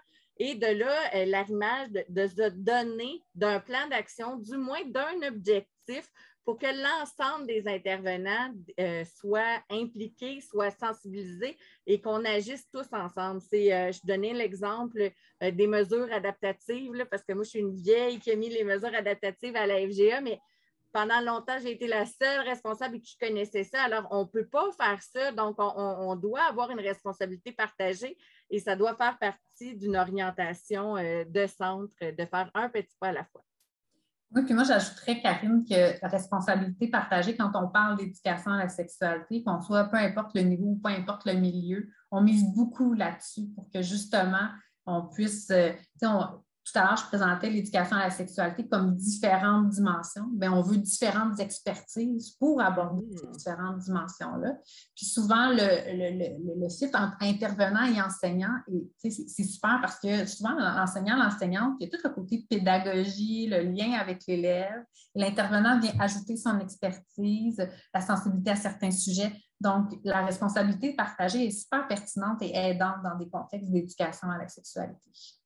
Et la même chose avec les partenaires de la communauté. Donc, lorsqu'on fait venir, par exemple, le policier communautaire ou un organisme, mais que, l'enseignant ne, soit pas retiré de la classe, mais qu'il soit dans la classe, qui fait partie des questions parce que lui peut aller euh, euh, pousser certains points, redire certains exemples qui se sont passés. Et de là, on vient plus à une animation collaboratrice et que ça, donne euh, des, bons résultats par la suite. Donc, le rôle des services éducatifs complémentaires, alors vraiment, vous, l'avez donné tout au long du, du, webinaire, mais c'est de donner des activités de, prévention, d'avoir une certaine collaboration entre les enseignants. Puis, on est dans une posture où est-ce qu'il oh, y a de plus en plus d'intervenants qui s'ajoutent et de savoir qu'est-ce que ça fait une psychoéducatrice, qu'est-ce que ça fait une travailleuse sociale, qu'est-ce que on peut faire comme activité, ben, alors on, est, euh, on est là-dedans. Donc, c'est une belle activité de collaboration avec les différents intervenants des centres. Il y a de l'animation qui peut se faire euh, pendant les cours. Alors, on est, on est habitué en FGA, FP d'avoir euh, des, activités parascolaires qui sont à l'extérieur des cours, alors qu'on sait qu'il y a toute une, une, une conciliation travail-famille qui est extrêmement préoccupante et présente chez nos adultes. Alors que de prendre en considération que si mon élève n'est pas dans son cours, par exemple, de mathématiques, mais qui est en train d'être éduqué, qu'on a trois missions éducatives à l'école, donc c'est vraiment quelque chose à amener dans les centres de faire des activités pendant les heures de cours. On sait bien que les DEP, que certains programmes vont rapidement, mais il y a moyen tout de même d'avoir certaines souplesses et ouvertures. Donc, c'est euh, un gros défi pour euh, les intervenants des services éducatifs. Puis euh, de la collaboration, bien ça, je, l'ai bien dit. Donc, même s'il y a des liens qui se sont créés avec le secteur des jeunes et qu'on pense que ça va se faire automatiquement en FGA, FP, alors euh, ben, je vous annonce que non. Alors, il faut, faut nécessairement, il faut généralement aller refaire ces liens-là directement avec les organismes ou les différents partenaires. Donc, des contenus en éducation à la sexualité, là, je vais changer d'écran parce que sinon, je, suis noir, noir, noir. Euh, j'ai quand même, euh, je, vais vous présenter beaucoup de choses qui se font en lien avec les contenus en éducation à la sexualité euh, au niveau du secondaire. Mais comme je mentionnais en introduction, ces contenus-là, là, à la lumière de tout ce qu'on a discuté aujourd'hui, ils sont très, très pertinents à la FGA-FP. Des fois, c'est peut-être les outils qui seront à revoir et retravailler un petit peu, mais sachez que la plupart des outils que je vais vous présenter aujourd'hui, vous pouvez les reprendre, les retravailler, les modifier. Euh, donc, des fois, c'est peut-être juste des petites parties où vous allez vous inspirer. Euh, mais assurément, les contenus que je vous présente aujourd'hui, vous allez pouvoir faire un parallèle avec tout ce qu'on a discuté depuis euh, le début. Puis, comme je mentionnais tout à l'heure, ben, le nouveau programme Culture et citoyenneté québécoise à venir pourra certainement être une belle porte d'entrée aussi euh, par rapport à la façon d'aborder l'éducation à la sexualité. Puis tous les contenus vont être revus euh, également. Donc, au niveau de l'agir sexuel, ça, c'est un gros thème au secondaire qui fait bien peur parce qu'on est tous dans la notion euh, des relations sexuelles, le plaisir, le désir, la réponse sexuelle. Donc, qu'est-ce qui va me pousser à avoir certains comportements sexuels et d'autres non? Euh, qu'est-ce qui va soutenir mes choix? Euh, toute l'importance du désir, du plaisir. Tu sais, ça, c'est, des fois, c'est un peu malaisant de parler de ça, mais c'est super important euh, euh, de, discuter de ça, ce que ça veut dire, ce que ça implique, toute la courbe de la réponse sexuelle, tu sais, toutes les limites par rapport à ouais, il faudrait que je vienne en même temps que ma blonde ou mon chum, ou ben voyons donc, il va être capable de venir deux, trois fois dans le même sais, tout ça, là, on peut tout démystifier ça avec la courbe de la réponse sexuelle parce que non, c'est pas vrai, ces éléments-là, mais là, on, appuie ça sur des éléments euh, théoriques et fiables. Tous les différents enjeux associés aux relations sexuelles, tout à l'heure, je parlais des, des mais ça fait partie de l'agir sexuel. Tout le niveau du consentement, des lois, des droits associés à ça, quand même des choses, tout le droit à l'image. Si je t'envoie une photo coquine, garde-la dans ton cellulaire parce que si ça part, ça se peut que là, les, dommages collatéraux soient quand même grands. Il y a comme un impact légal. Avec l'agir sexuel, il y a plusieurs éléments qu'on peut prendre là qui, sont intéressants. Et si vous allez sur le site web du récit en éducation à la sexualité, vous allez voir pour chacun des thèmes et chacun des niveaux, il y a un, document qui s'appelle les SA, E-S-S-A. Et euh, je vous parle de ça juste parce que le début de ces documents-là, ce sont tous les contenus détaillés des contenus en éducation à la sexualité. Donc, si vous vous dites, ah oui, moi j'ai vraiment le goût d'aborder comme la réponse sexuelle avec mes jeunes, mais je ne suis pas trop sûre de mon affaire, mais je vous dirais, allez sur le site web, téléchargez la SA, puis lisez les contenus. Ça va vous donner une certaine balise, certains contenus de où vous pouvez aller. C'est sûr qu'avec des jeunes adultes, vous allez pouvoir aller un peu plus loin, que les discussions vont être différentes, mais ça vous donnera la base des contenus, de ce que ça implique, de ce que c'est. Je vous ai partagé un premier outil que ma stagiaire a, euh, développé cette année. On a fait deux rencontres euh, sur euh, justement la gestion sexuelle où on, voulait développer une meilleure compréhension de la pratique du sextage, puis aussi on voulait les positionner euh, face à des situations d'enjeux sexuels. Donc, la trame de fond, c'était de réfléchir à des enjeux. Donc, la notion d'enjeu était super importante. Donc, on a parlé des sextos, on a parlé des relations sans amour, on a parlé d'intimité affective et sexuelle. Donc, vous pourrez euh, éventuellement, parce que là, il faut que je la retravaille un petit peu avant de la déposer, euh, je me suis mis ça dans mes tâches cette semaine, mais pour vous donner une idée de ce que ça peut ressembler, les outils, c'est que vous pourrez, il y, a, beaucoup de choses qui vont, qui vont sortir, mais euh, vous pouvez utiliser les, euh, les, slides, faire une copie puis la modifier. C'est sûr que là, les, règles, tout ça. Donc, vous avez tous les objectifs, toutes les vidéos qu'on a utilisées, ce que vous, tout est intégré euh, dans la présentation et vous pourriez partir de ça comme outil. Euh, donc, ce sera déposé sur euh, le site Web pour ce volet-là de l'agir sexuel. Donc, deux rencontres, ça veut dire deux fois une heure et quart. C'était quand même, ça allait vite. Dans la deuxième rencontre, super intéressant, on leur faisait faire une activité sur classer les situations selon euh, ce qu'ils trouvaient le plus acceptable, le moins acceptable. Euh, donc, il y avait une situation d'infidélité, il y avait une situation d'agression sexuelle, puis il y avait une autre euh, situation qui c'était les, discussions qu'on a autour de ces genres de situations-là sont hyper intéressantes, de voir où ils en sont, puis ça permet de bonifier aussi, puis de donner les informations qui sont justes et valides.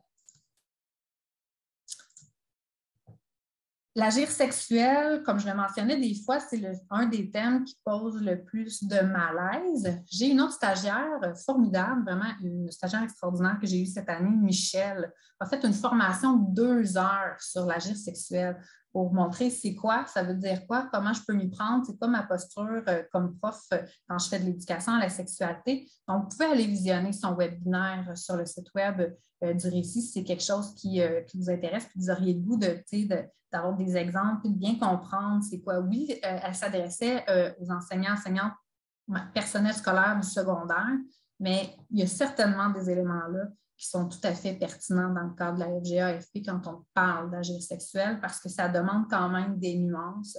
Il faut faire attention quand on parle de ces sujets-là qui sont quand même très intimes et très délicats. Donc, je pense que Michel a quand même fait euh, une très bonne, très bonne job. Elle a été, euh, ça a été très bien reçu, euh, la formation qu'elle a donnée.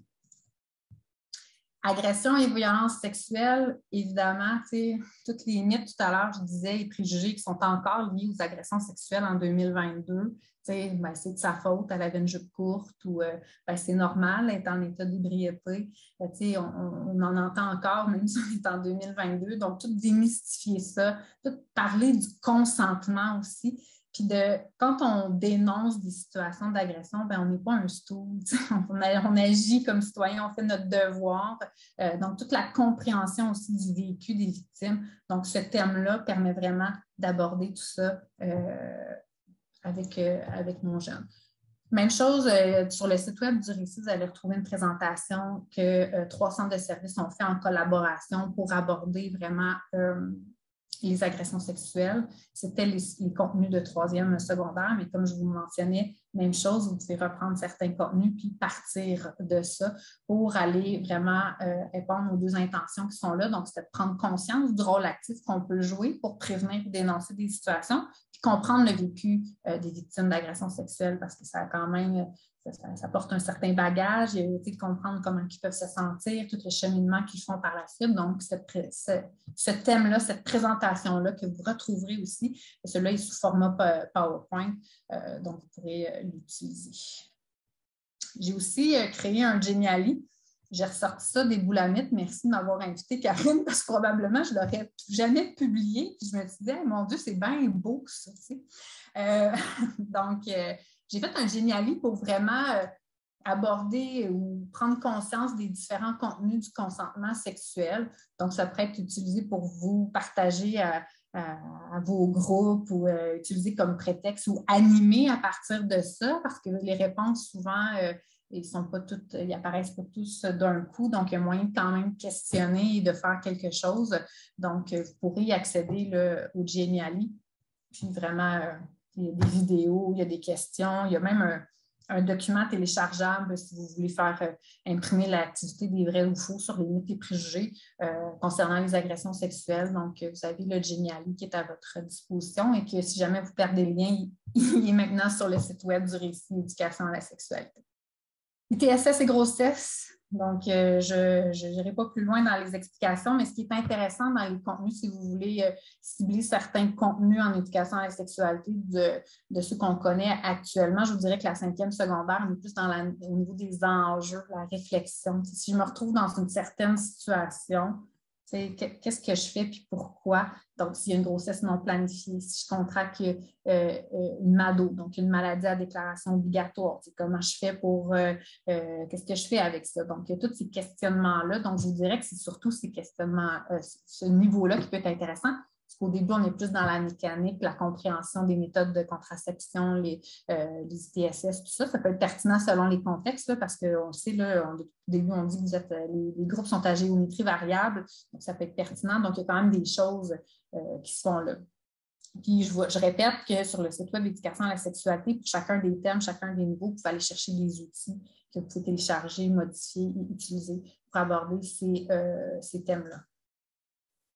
Je vous ai mis mon profil sexe. Je ne sais pas s'il y en a qui connaissent ce site web-là. Ça a été développé par euh, euh, le, réseau de la santé de la Montérégie. Donc, ça donne des, informations qui sont pertinentes sur les TSS, la contraception.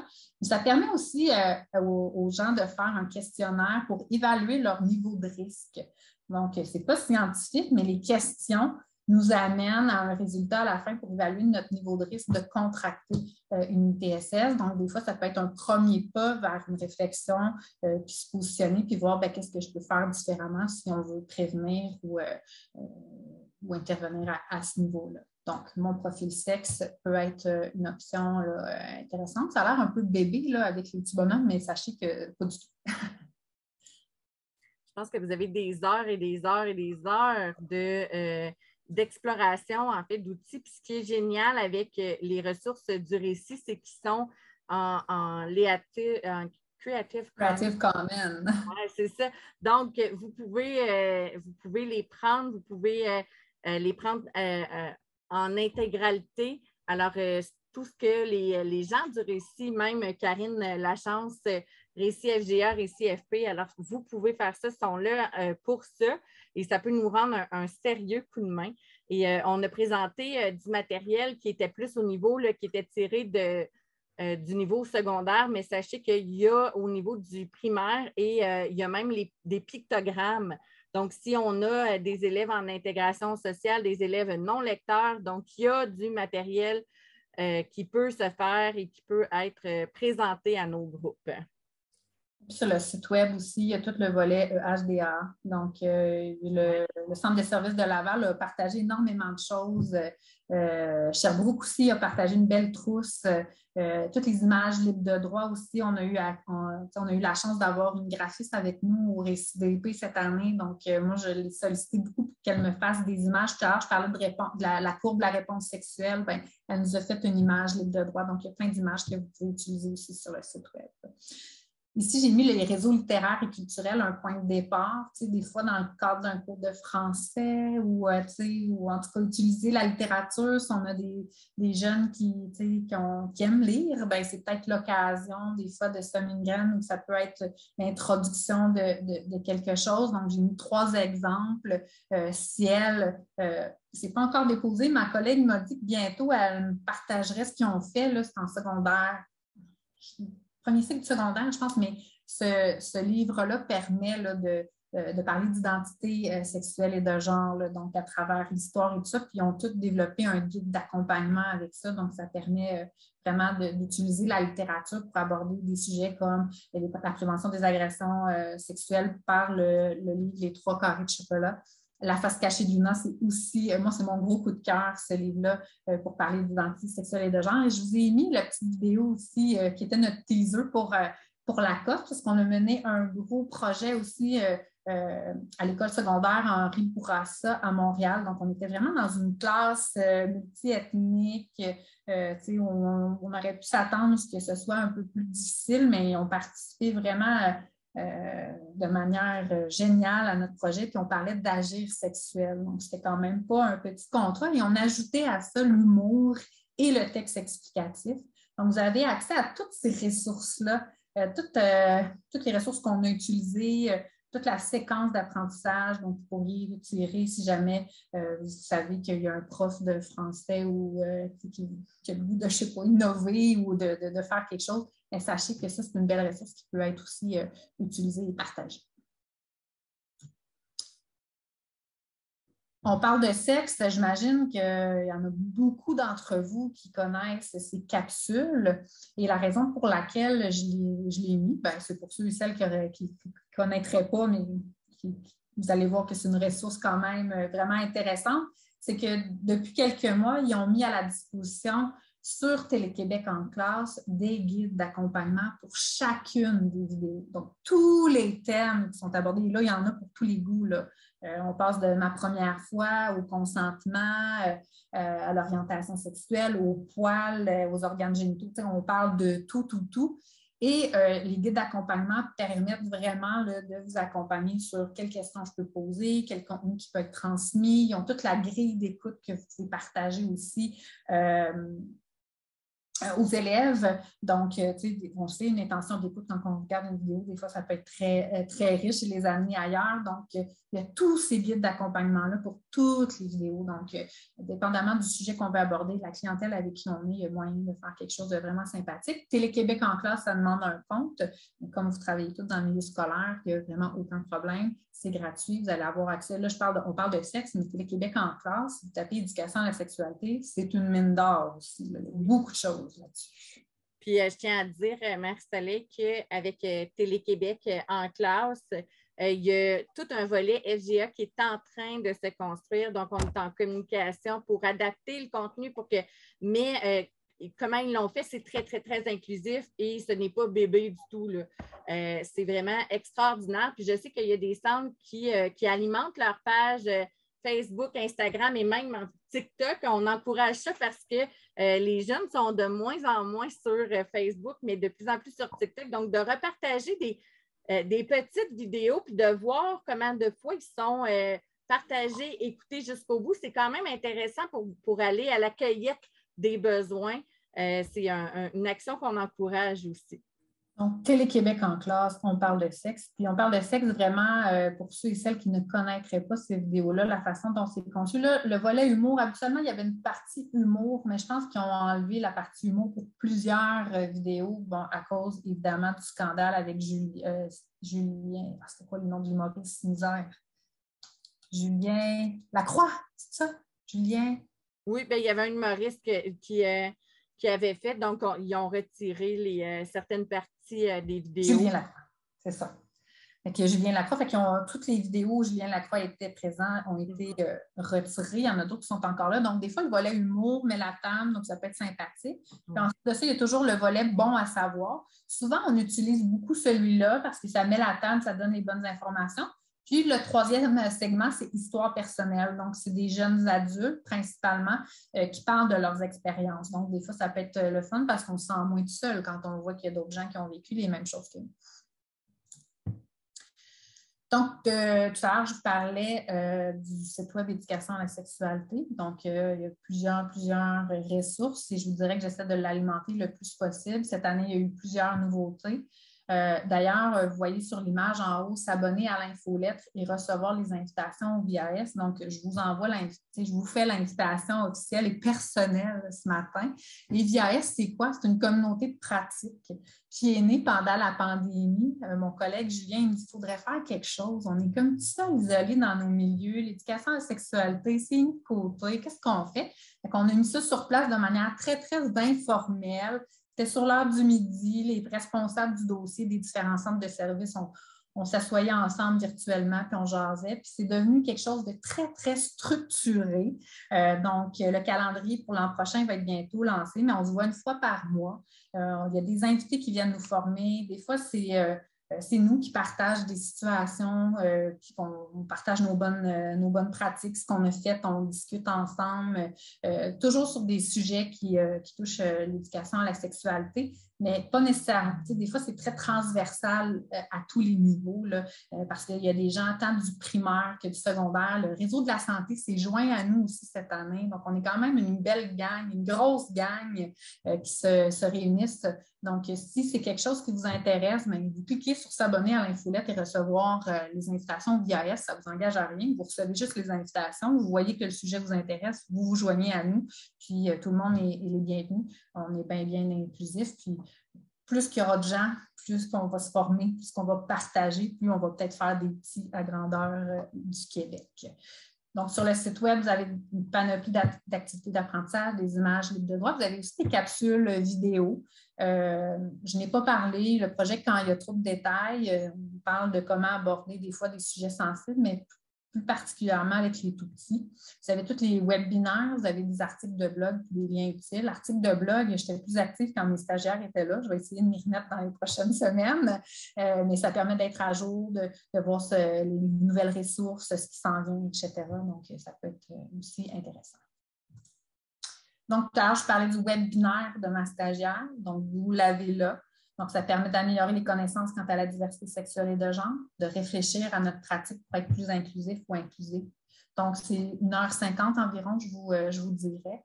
Euh, donc, il y a possibilité là, de, le visionner sur, euh, sur le site web dans la section webinaire. Évidemment, Campus Récit, je ne vais pas passer à côté. depuis le début de mon mandat, j'ai développé des auto-formations formation, ce n'est pas parfait, on va se le dire, mais ça donne une base, ça donne une modalité de plus pour se former si on n'a pas le temps ou, euh, euh, si quelqu'un a un intérêt. Donc, actuellement, il y en a quatre disponibles sur Campus Récit. La, la petite nuance que j'apporterais par rapport à Campus Récit, c'est qu'il faut avoir un compte pour pouvoir accéder euh, aux euh, formations en éducation à la sexualité. C'est un choix éditorial que j'ai fait au tout, tout début, là, euh, parce que l'éducation à la sexualité, on, des fois, on sait, ça fait des vagues et tout ça. Donc, on voulait limiter le nombre de personnes. On voulait vraiment que ce soit les gens qui étaient bien intentionnés qui s'y rendaient. Donc, vous pouvez accéder à la formation sur les bases de l'éducation à la sexualité. Donc, c'est quoi l'éducation à la sexualité? Ça veut dire quoi en faire, etc. Ça en avait une sur la prévention des agressions sexuelles, mais au primaire. Par contre, santé affective et relationnelle, ce qui pourrait être intéressant dans celle-là, c'est qu'il y a un volet sur comment répondre aux questions. Euh, parce que des fois, ça aussi, c'est. Je, je voudrais en faire, mais j'ai peur des questions qui vont m'être posées. Je suis pas sûre de comment je pourrais y répondre, donc ça peut donner des pistes de réponse.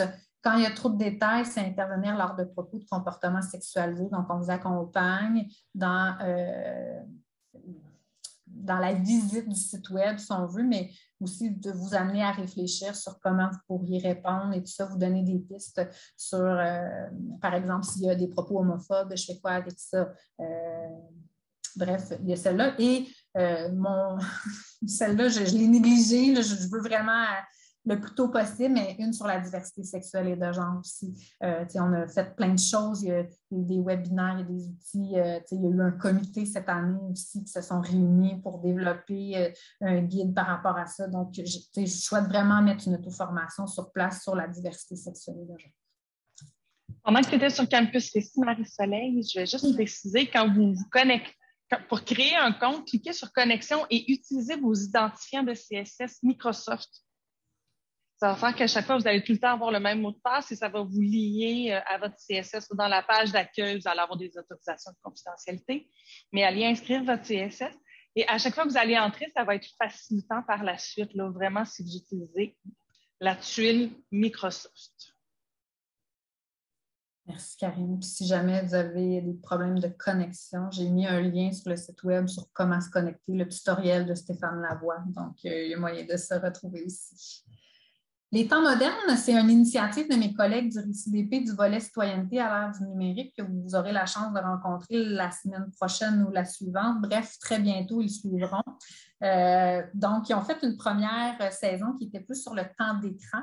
Cette année, je leur ai dit, on ose faire une deuxième saison sur la sexualité à l'ère du numérique? Ils m'ont dit oui, oui, oui, ça va être cool. Fait on est dans le montage des épisodes actuellement. Les enregistrements sont terminés. Donc, vous en aurez un sur la diversité sexuelle et de genre. Il y en aura un sur la sexualisation de l'espace public, un sur la diversité corporelle, euh, un sur euh, les relations amoureuses. Euh, qu'est-ce que le, numérique euh, change dans nos relations euh, amoureuses, puis la porno pour le meilleur et pour le pire, donc quelle influence sur les jeunes. Donc, on a eu des invités vraiment du milieu de la recherche, des gens de terrain. Je pense à Francine Duquet qui est là pour la sexualisation de l'espace public. On a Tel Jeune qui est venu aussi, une intervenante de Tel Jeune qui est venue sur le panel pour les relations amoureuses. Donc, c'est quand même des gens qui ont, qui ont fait de la recherche, qui ont un bagage, qui nous amènent des belles nuances. Puis l'objectif, c'est de développer des guides d'accompagnement pour ces épisodes-là sur comment je peux les réinvestir après auprès de mes jeunes dans mes classes et tout ça. Euh, donc, euh, surveillez ça. On, mise le 15 juin, la date de lancement euh, du temps moderne saison 2. Donc, si tout va bien, mi-juin, vous aurez accès à ces beaux épisodes en 30 et 35 minutes, je vous dirais. Donc, quand vous prenez votre marche, vous pourrez écouter les temps modernes. En attendant, vous pouvez aller euh, écouter la première saison sur euh, le temps d'écran qui est tout aussi euh, pertinent. Et là, ben, Karine, on voulait leur poser la question, les organismes ressources, on en a quand même partagé plusieurs depuis le début. Donc, si vous avez pensé à autre chose pendant la présentation, puis que vous avez le goût de nous le partager dans le clavardage, ben, on est preneur. Je suis certaine que ça peut bénéficier aux autres personnes du groupe. Et j'en serais rendue pendant que, ben là, ça, va vite, là, hein, on est déjà rendu à la fin, mais il y avait beaucoup de choses. Moi, je me mets à votre place, là, je dois avoir le, j'aurais le cerveau qui se réchauffe. mon, mon, hamster irait vite parce que j'aurais plein d'idées puis j'aurais le goût de me mettre en action. Là. Euh, donc. Euh...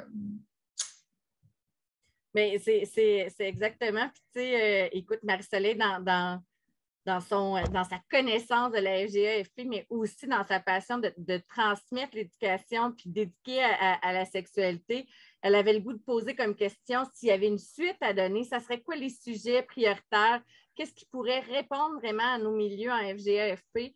Euh, de, donner d'autres initiatives? Parce que Marie-Soleil, écoute, je le dis parce que tu le dis, mais tu es ouverte à recollaborer avec nous. Puis il y aura deux stagiaires qui on veut euh, sensibiliser, on veut intégrer pour que répondre à notre clientèle. Donc, euh, vraiment, un, immense merci. Je vous invite à, répondre à la question. J'ajouterais aussi, j'ai un petit côté Mère Teresa dans la vie. Hein. Moi, j'aime ça. J'aime ça qu'on travaille tout le monde ensemble. J'aime ça aider, tout ça. J'ai le goût de vous dire si jamais euh, vous avez des questionnements ou des besoins, ou n'hésitez pas non plus à, à, me faire signe, parce que je sais que FGA, FP, vous avez vous avez sûrement les, mêmes ressources éducation à la sexualité dans vos centres de services, mais qui sont attitrés à la formation générale des jeunes. si vous n'y avez pas accès ou quoi que ce soit, n'hésitez pas à, me faire signe. Je peux euh, soit vous répondre, vous référer ou voir ce qui est, possible. comme je mentionnais aussi, j'ai encore deux euh, chouettes stagiaires l'an prochain. Donc, euh, je pense que pour l'an prochain, j'ai le goût de les faire travailler sur la FGAFP parce que je me rends compte que c'est quand même un, grand besoin. Puis en attendant de voir ce qui va se passer aussi avec culture et citoyenneté québécoise, ben, l'occasion de travailler avec vous. Tu as dit, Marcelet, quelque chose de super intéressant. Effectivement, dans chaque centre de service scolaire, il y a quelqu'un d'attitré à l'éducation, à, la citoyenneté, à la, sexualité. Je me mélange avec le webinaire du 30 mai prochain. Euh, mais euh, ça fait partie d'un des mandats de cette personne-là. Donc, effectivement, c'est une ressource qui est généralement dédiée pour les jeunes. Quelques personnes, euh, dépendamment de l'initiative ou de la volonté du CSS, peuvent collaborer avec la FGA-FP, aussi dans une posture de transition. Alors, je sais que les centres de services scolaires sont à se positionner sur les transitions, puis essayer d'arrimer aussi les pratiques pédagogiques et de faire en sorte d'avoir une poursuite des interventions. Euh, mais sinon, euh, de communiquer avec Marie-Soleil, si vous ne trouvez pas c'est qui, on va vous mettre en contact. Et sinon, les communautés de pratique des intervenants psychosociaux, ça sert à ça, à se partager des projets puis à regarder comment on peut l'implanter dépendamment de nos réalités. Oui, euh, j'ai toute la liste, moi, des gens qui travaillent dans les centres de services. Donc, vous avez besoin d'une ressource, il y en a plusieurs qui sont sexologues aussi. Donc, ça aussi, c'est un gros plus. Donc, n'hésitez pas à rajouter, euh, malgré qu'on change de diapo, je, pense que est-ce que le Slido, il reste diversité de, genre? Ça mène quand même des sujets super intéressants qui sont là. Euh, on va vous les partager. Euh, puis, sinon, vous, allez sûrement communiquer avec Karine si jamais d'autres idées vous viennent. Puis Karine communiquera avec moi si je peux vous être utile. Oui, puis cette même question-là revient dans le formulaire de euh, d'appréciation qui va vous être transmis euh, dans quelques secondes dans le clavardage. Pour nous, c'est extrêmement important le formulaire d'appréciation parce que Karine et euh, ben, Karine Martin et moi, on est vraiment deux ressources nationales qui servent à vraiment répondre aux besoins des milieux et aux besoins des intervenants euh, des services éducatifs complémentaires. Donc, c'est à la base, c'est ce qu'on entend maintenant de vous qui êtes sur le terrain au quotidien et qu'on essaie de répondre. Donc, ça nous fait euh, vraiment plaisir. On avait entendu parler que l'éducation à la sexualité, c'était fréquemment euh, des, sujets qui revenaient dans vos bureaux, dans les classes comme interrogation. Donc, c'est pour ça qu'on a eu l'initiative de cogner à la porte de Marc-Soleil qui a répondu Oui, je le veux. Donc, conclusion, Karine, est-ce que. Bien, la conclusion, écoute, euh, vous, vous, la faites. Je pense que les commentaires sont vraiment là, que le, tout le contenu était pertinent, qu'il y a beaucoup à faire. Ça l'a amené beaucoup de, questionnements, aussi d'interrogations, des petites pistes à faire, mais de comprendre que ce n'est pas sur le poids d'un seul intervenant dans un centre, mais vraiment de le mettre à, la façon de transversale et que ça fait partie de la mission éducative euh, de l'école québécoise. Vraiment, là, je tiens à, le dire et à le redire, mais qu'on scolarise, mais on doit faire de l'éducation donc, euh, et de la socialisation. Ça fait partie de notre mission. Un immense merci d'avoir été là. Hein? Euh, puis d'avoir répondu présent. Marie-Soleil, un grand merci. Karine Lachance, immense merci d'avoir créé, en fait, le, lien. Le formulaire d'appréciation va vous être déposé. Et juste avant de partir, je voulais vous rappeler qu'il reste deux webinaires pour les services éducatifs complémentaires, soit le 30 mai prochain, donc lundi exactement dans deux semaines de 9h à 11h. C'est Alexandre Chénette avec ses euh, collègues qui vont venir parler de la citoyenneté à l'ère du numérique. Donc, euh, le temps d'écran, ce que l'on peut faire, comment on peut éduquer, comment on peut en parler aussi dans, notre classe et ne pas avoir un, ton moralisateur. Et nous sommes dans le mois de la sensibilisation. Euh, euh, au bien-être numérique. Et je sais que du côté de la FGA, du récit FGA, il y aura aussi un atelier le 27 mai euh, prochain avec François Prévost-Lagacé. Donc, deux webinaires concernant la citoyenneté numérique. Et finalement, pour clore l'année, le 7 juin prochain, c'est mieux comprendre et intervenir auprès des actes d'intimidation et de violence. Donc, deux ressources euh, de la FGA et de l'AFP qui viendront vous mettre et qui s'inscrivent dans le plan de lutte contre l'intimidation et la violence qui viendra terminer l'année. Ben, merci encore de l'invitation, euh, les Karine. Ce fut très euh, intéressant et j'ai bien aimé. merci à tout le monde. J'espère que ça a répondu, ça, en tout cas, répondu à un besoin. Je ne le sais pas, mais en tout cas, on a transmis beaucoup de choses. J'espère que ça l'a euh, contribuer à, l'information, à une réflexion, que ça vous sera utile pour, euh, pour la suite. Merci à tous.